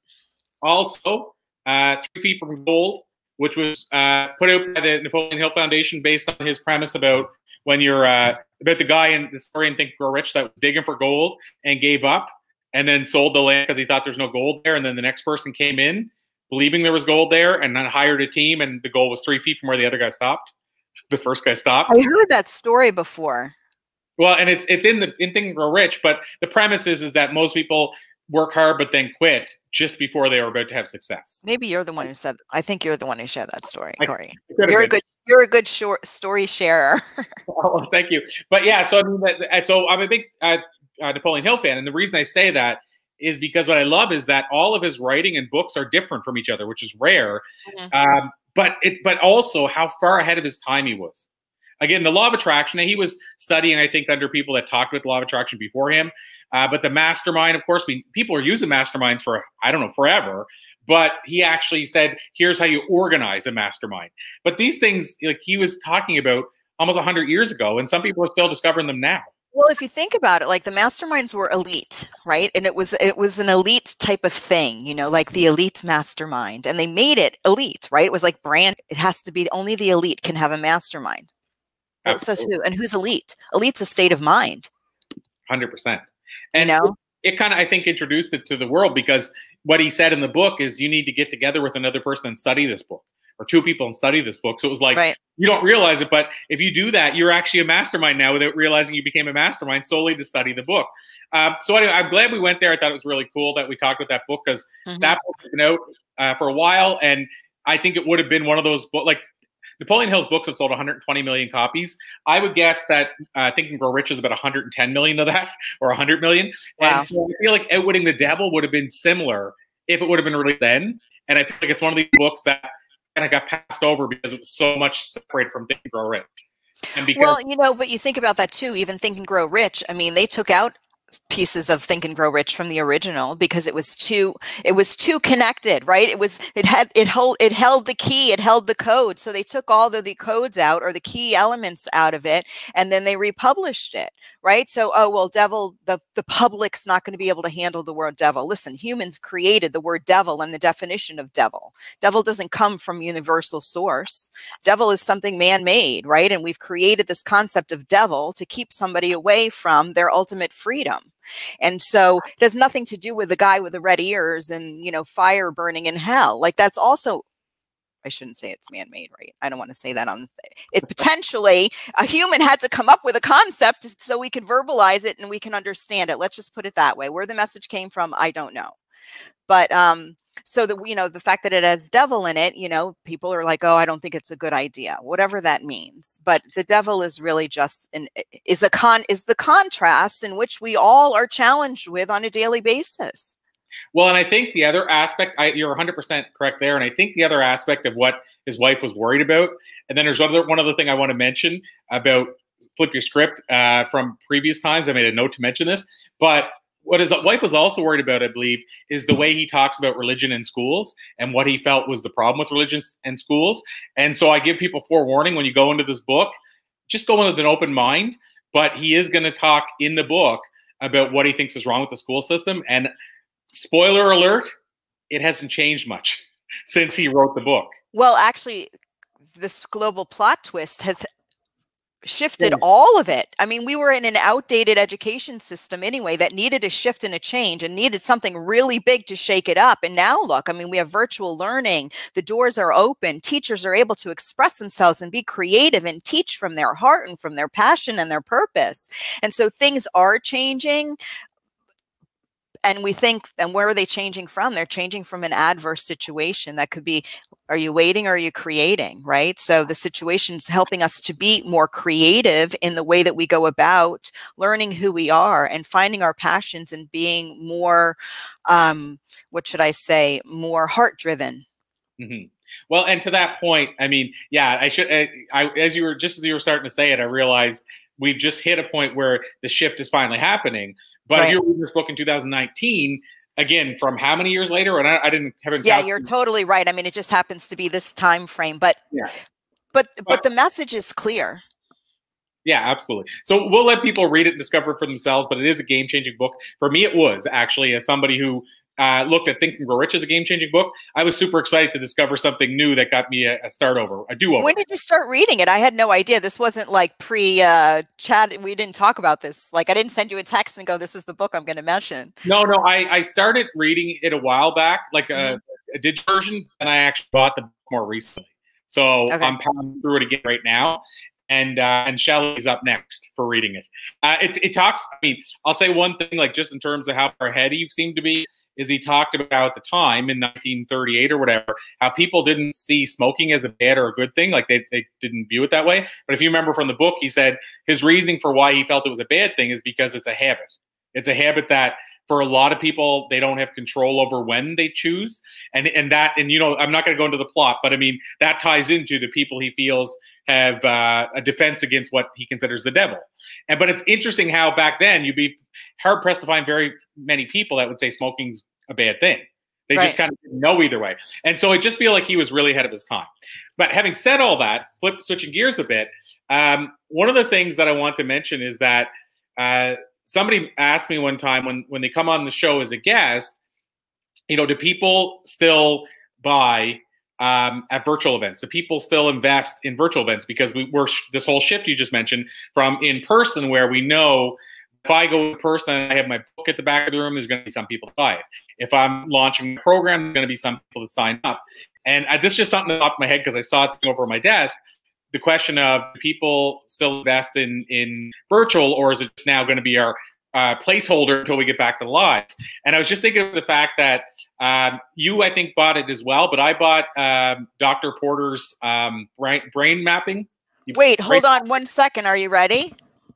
I'm gonna jump. I have it right next to my bed. I brain. It's brain tapping.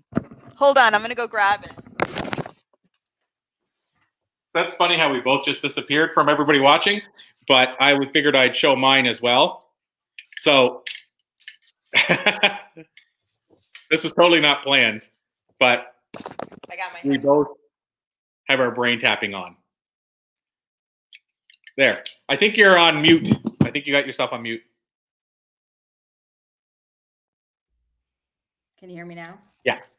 So we both my my point of this was we both invested in Brain Tap and I get two of them actually. So three of them. Really? For what? But for Shy as well, because I figured that you know we're all traveling in different circles. But my point is, he sold free brain tapping things for coming onto the show. So, do people still invest from virtual?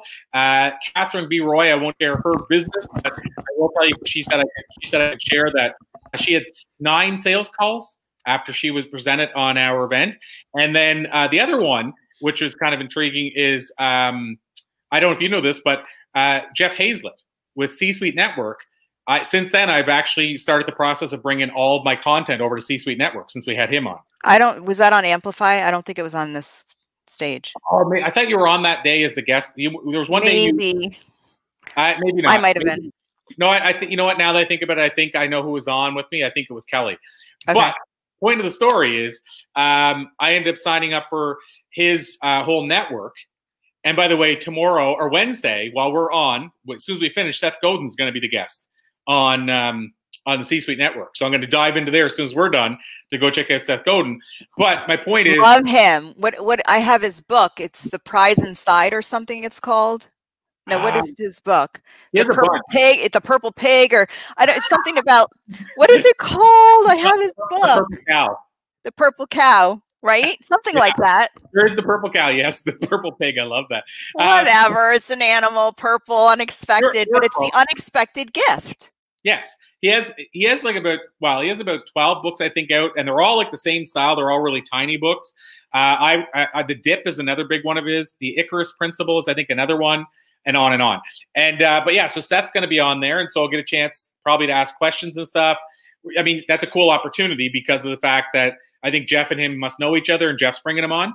But my point is virtual events, right? You know, so mm-hmm. Seth will be on, and there'll be a book of his that I forgot that I didn't even look up or anything, and I'll end up buying that book after I see him on there. Right. And So I just wanted to point out that when we think about, you know, the world's changed, but does that mean that there's no business happening because we're virtual? I don't know why. No, I mean, I have people reach out to me and I get, they see something, a Flip Your Script Friday or um, a replay, and they'll reach out and we'll start coaching together and working, you know, moving forward together and, you know, have game changing experiences. And, you know, so there's so many different opportunities available. And it's about wait. Are you waiting or are you creating? And I promise you, if you're waiting, you've always been waiting. If you've been creating, you've always been creating. And the beautiful thing about that is we always have an opportunity right now to shift flip it flip your script flip the flip that internal script. you know and and and and if you want to create ask your what what's holding me from creating let that poo go and become a creator. See how you you know what i say to my clients corey? I'm like just see how you like it right? Mhm. you know what it's like to be a waiter. You can always go back and wait right? You've already nailed that you've perfected that version of yourself so just try something new. And if you really don't like it, you can always go back because you've already became, you already mastered it. Absolutely. Well, and I don't even know why I went there. Like, well, I never know. I trust the universe, but I saw this sitting over the table, and I just thought I'd mention that. It's kind of a shout out for them, but also to say, uh, yes, people, we are still humans. We are still, if we see somebody we like, we still typically will find a way to grab that thing. And so Mhm. we've talked about books today, like The Untethered Soul. And I didn't put this uh, up because it was right while we were finishing out with Maggie, but Linda mentioned that she just dug it out and it's her fourth go through. Highly Right. recommend it. So when I'm talking about books, for example, The Untethered Soul, there'll be somebody that from listening to this will go buy The Untethered Soul. And the or truth outwitting the devil. or Outwitting the Devil, and I'll go pick up the Untethered Soul and start reading it because I got to get through it at some point. But I just want to add, just want that in because this isn't about why should you be a part of bLU Talks. This I'm saying this is about uh, yes, people, the world has shifted, but we are still humans, and we are still going to see experts we like in some capacity, and Right. some people are going to reach out, whatever that looks like. So, Um, Corey, I want to remind you that I'm going to be at another event tomorrow. Um, Yes. I don't want to like cross over, but I should tell Laura Lake was a guest, and and and I think the tickets are already sold. I don't know if you could buy a ticket. It's a ticketed event, so here you go. This is a great example. This is an interactive virtual event, right? So this is interactive as well, but we're kind of in a screen. This is really awesome. I think it's called Airmeet that she's using, and you actually sit at the tables with your with people at the event. So it's like you're at the event. You hang out, you go backstage. Um, anyway, it's called the Solopreneur Conference. It's the first one. It's Solopreneur Conference 2020. If it's not something you can make, I definitely jump on here. I might actually even be able to be here because I'm not on until four. I'm one of the last keynote speakers. So I'll see how the day goes. I can jump on here. If not, it's all you tomorrow and I'll be back on Wednesday. Absolutely. And I just put the link in. I just went and checked. Uh, you can still technically buy tickets on the website. I don't know what that looks like on the back end, meaning I don't know if she just didn't take that part down. So you might be able to. And I'm sure. I mean, the event doesn't start till tomorrow morning. So yeah, I just put it in there because I looked on the website to make sure. And yeah, Laura is a part of the bLU Talks uh, ecosystem. Uh, as Elise mentioned, obviously Elise is. Uh, Roslyn is, I think, speaking there. Roslyn Fung, and Roslyn's part of the bLU Talks ecosystem. Mm-hmm. And so is Kelly Falardo. So there's like four bLU Talks representing out of about eight speakers, I think. And so, so I'm cool with that because we have bLU Talks speakers over there on one side, and then we have bLU Talk speakers on this side. So tomorrow's a big day for the bLU Talks world. And I, I yeah. say that I'm, saying, I'm not saying anybody's on there talking about bLU Talks. I just mean that uh, a lot of the connections, which goes to the idea online again, happen because of bLU Talks. Ex- you know, Corey, like, I always said that you're a magnet for like the most amazing people. Oh, I, well, thank you. That's so generous. I won't. I mean, I'm gonna say too. I have to say, so am I. So I mean, like we're. So I'm not surprised because you are amazing. So I am a, amazing, an amazing magnet. But everybody that I've ever met through you, um, on any of these events, anyone that you've referred to be on the Flip Your Script Friday has always been like a kindred spirit. So I appreciate you so much. I appreciate the platform, you know, that we've been able to create virtually. That you created. What would you call it? Like what's not virtual? Like real time i guess? I don't even know. What do you call what do you call a real stage these days? I guess it would still be live or real time. I mean i, I, I mean this I, is real time too though so yeah live uh, on a stage i guess we'll just say on a stage on a stage. right um, so you've created a platform let's just put it that way a multi a multi-level platform um, for people to be able to share their stories and inspire someone somewhere to be and recognize that they have an opportunity to love themselves in a life that they love and they can be the creator of that. Love it. So, Elise, uh, one last thing before we let everybody go, because I know we went over time, but again, we're still shorter than our normal time, or right around Which the time. what? Can you tell me that? Because I know the day, the day, the times are varied this week. Usually, it's like from eleven to three fifteen, but I think they're kind of like, what's what's tomorrow's time? So I'm going to open it up so I have it exactly accurate. And while I'm saying this, I was going to uh, get you to tell people something, but also I would tell everybody. Uh, I mentioned it once earlier. If you want to know more about bLU Talks, because I forget to say this a lot, uh, I'll put it in here. EasyBlueTalks.com. I, rather than me go go here, go here, go here, just blutalks.com is the best way to find those things.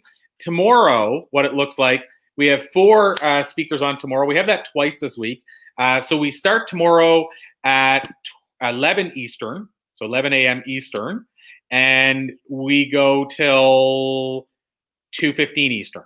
So 11 okay. to 15. So I'm gonna keep it easy, 11 to 2:30. And I think I gave you the um, I call them the social media bites um, with the all four, but I'll post that so they'll see who's going to be who we'll have as our special guest tomorrow and the times. Absolutely, that'll be a good thing to do. So the last thing I want to ask you, Elise, is kind of timely because we're just hitting the top of the hour, so maybe this is our perfect time. Uh, I just want to ask you because we don't often ask you this as well, but if people want to learn more about you, mm. where do they go? Like Elise, Roth, EliseRothman.com is the best place. I am on social media. Uh, Facebook is Coach Elise. On Instagram, it's Flip Your Script with Elise. And I'm the founder of Flip Your, Flip Your Script Coaching and Corey, I know you and I've gone back and forth about, you know, what do you do and how do you help people? And so I've been thinking a lot about that and mindset. And it really is about helping people with their mindset, but it's about helping them really consciously and intentionally create. And what is that? That's an architect. So, as a mindset architect, I help people learn how to flip their um, internal script like the linguistic way of thinking right and and help them really recognize that that's the beginning point. People are like it's yeah but it's emotion and feeling and and words but everything starts with a thought if you think about it right? And so it's helping people really recognize release and restore who they are as the star in their show. I'm gonna i'm gonna leave i'm gonna end with a little bit of little story of a client of mine who's quadriplegic one of the most well-beings that i know. He um, was uh, he used to jump like do uh, you know, when you jump out of a plane with a parachute, skydiving, I guess, or something like that. And on his 25th hundredth jump, he was celebrating the day he became a chiropractor. And that jump landed him in the chair. Okay. And this was about seven or eight years ago, or maybe even longer. And I was coaching him. And one of the things he said to me was so profound. And I share this story because it applies to everyone right now is that he said to me, goes, you know, the reason that I'm sitting here with you and I called you, you know, to help me work through and become the best version of me that I can become in the situation has nothing to do with me being in this chair. Everything that I've been challenged with and that I continue to be really, truly, deeply challenged with, I brought to this chair. Mm. Being in the chair, being quadriplegic, depending on people to wipe my ass, excuse my language, and feed me, and all of these things, they pose another level of challenge. But what I'm struggling with, my inner value, my knowing, my self worth, has nothing to do with me being in this chair.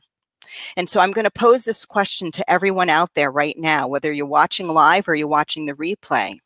Who are you in this chair? This global plot twist, this pandemic right now is your chair. Think about what you're challenged with right now. Think about the things that are coming to light that you are really having a hard time with.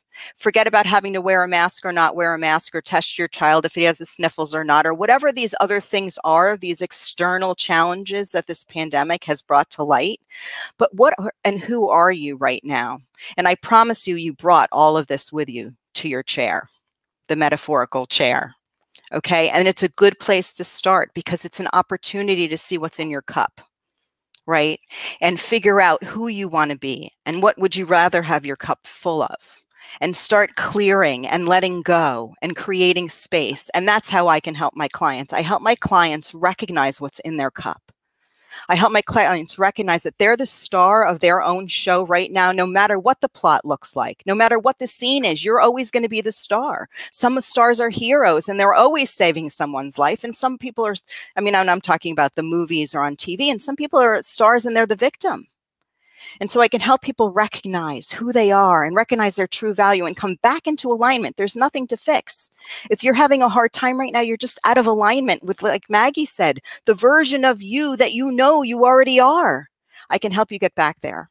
I can help you recognize the value of who you are and become the star that you love in the show that you love and the scene that you love every single time. So I wanted to share that story because every time every time I share it, it's a reminder to me as well that anything that's coming up for me right now has nothing to do with anything outside of myself. I brought it to the chair. It's so powerful that you said that because, and I'll, I'll just finish with this, but I, it, it brought it to my head. And, and, like I said, I never get, I never guess, I used to, but I never second guess why the universe wanted me to share this part. But I had somebody reach out to me over the weekend and again, I, this case, I won't say who the person was because okay. it might give me permission to say it. I never asked for permission, so I just won't say much more than to say they're struggling. And mm-hmm. this is somebody that's a, a high level achiever, like really high level achiever. And they're struggling right now because of some things that have been put in front of their path. Mm-hmm. And they sent me a message because um, I had sent them a copy of my book. And again, it goes back to that book I mentioned earlier, the book of why. And they said they were struggling with like maybe I should even throw in the towel on the business. Like maybe this isn't the path for me. And they said they started reading in the book how I talked about, like I shared the stories of some of the people they've interviewed that were born with no arms and had these main major struggles and to this day are still more highly successful than some people that weren't born with those disadvantages that we that's what society calls them. And they said I started realizing like every day they have a harder journey than I do. I mean, it's not that we're comparing, but it's just like a point of reference to saying. But it is kind of. But go ahead. But I mean, but it's like, but it's it's a good comparison because they're saying it's a point of reference to say, you know what? Mm-hmm. And I always say it like this: uh, Mark Goffney is one of the guys that I talked about that was born without arms, and there there's days I'm telling you at least it worked for me where I would wake up with a sore arm and I'd start getting in that funk mode, and then I'd say, wait a minute, you know how much Mark would give to have a sore arm? Right.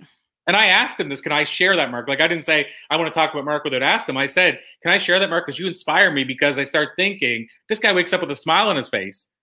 And yet I'm waking up complaining about the pain in my arm, but I, am forgetting to be grateful that I have an arm to complain about.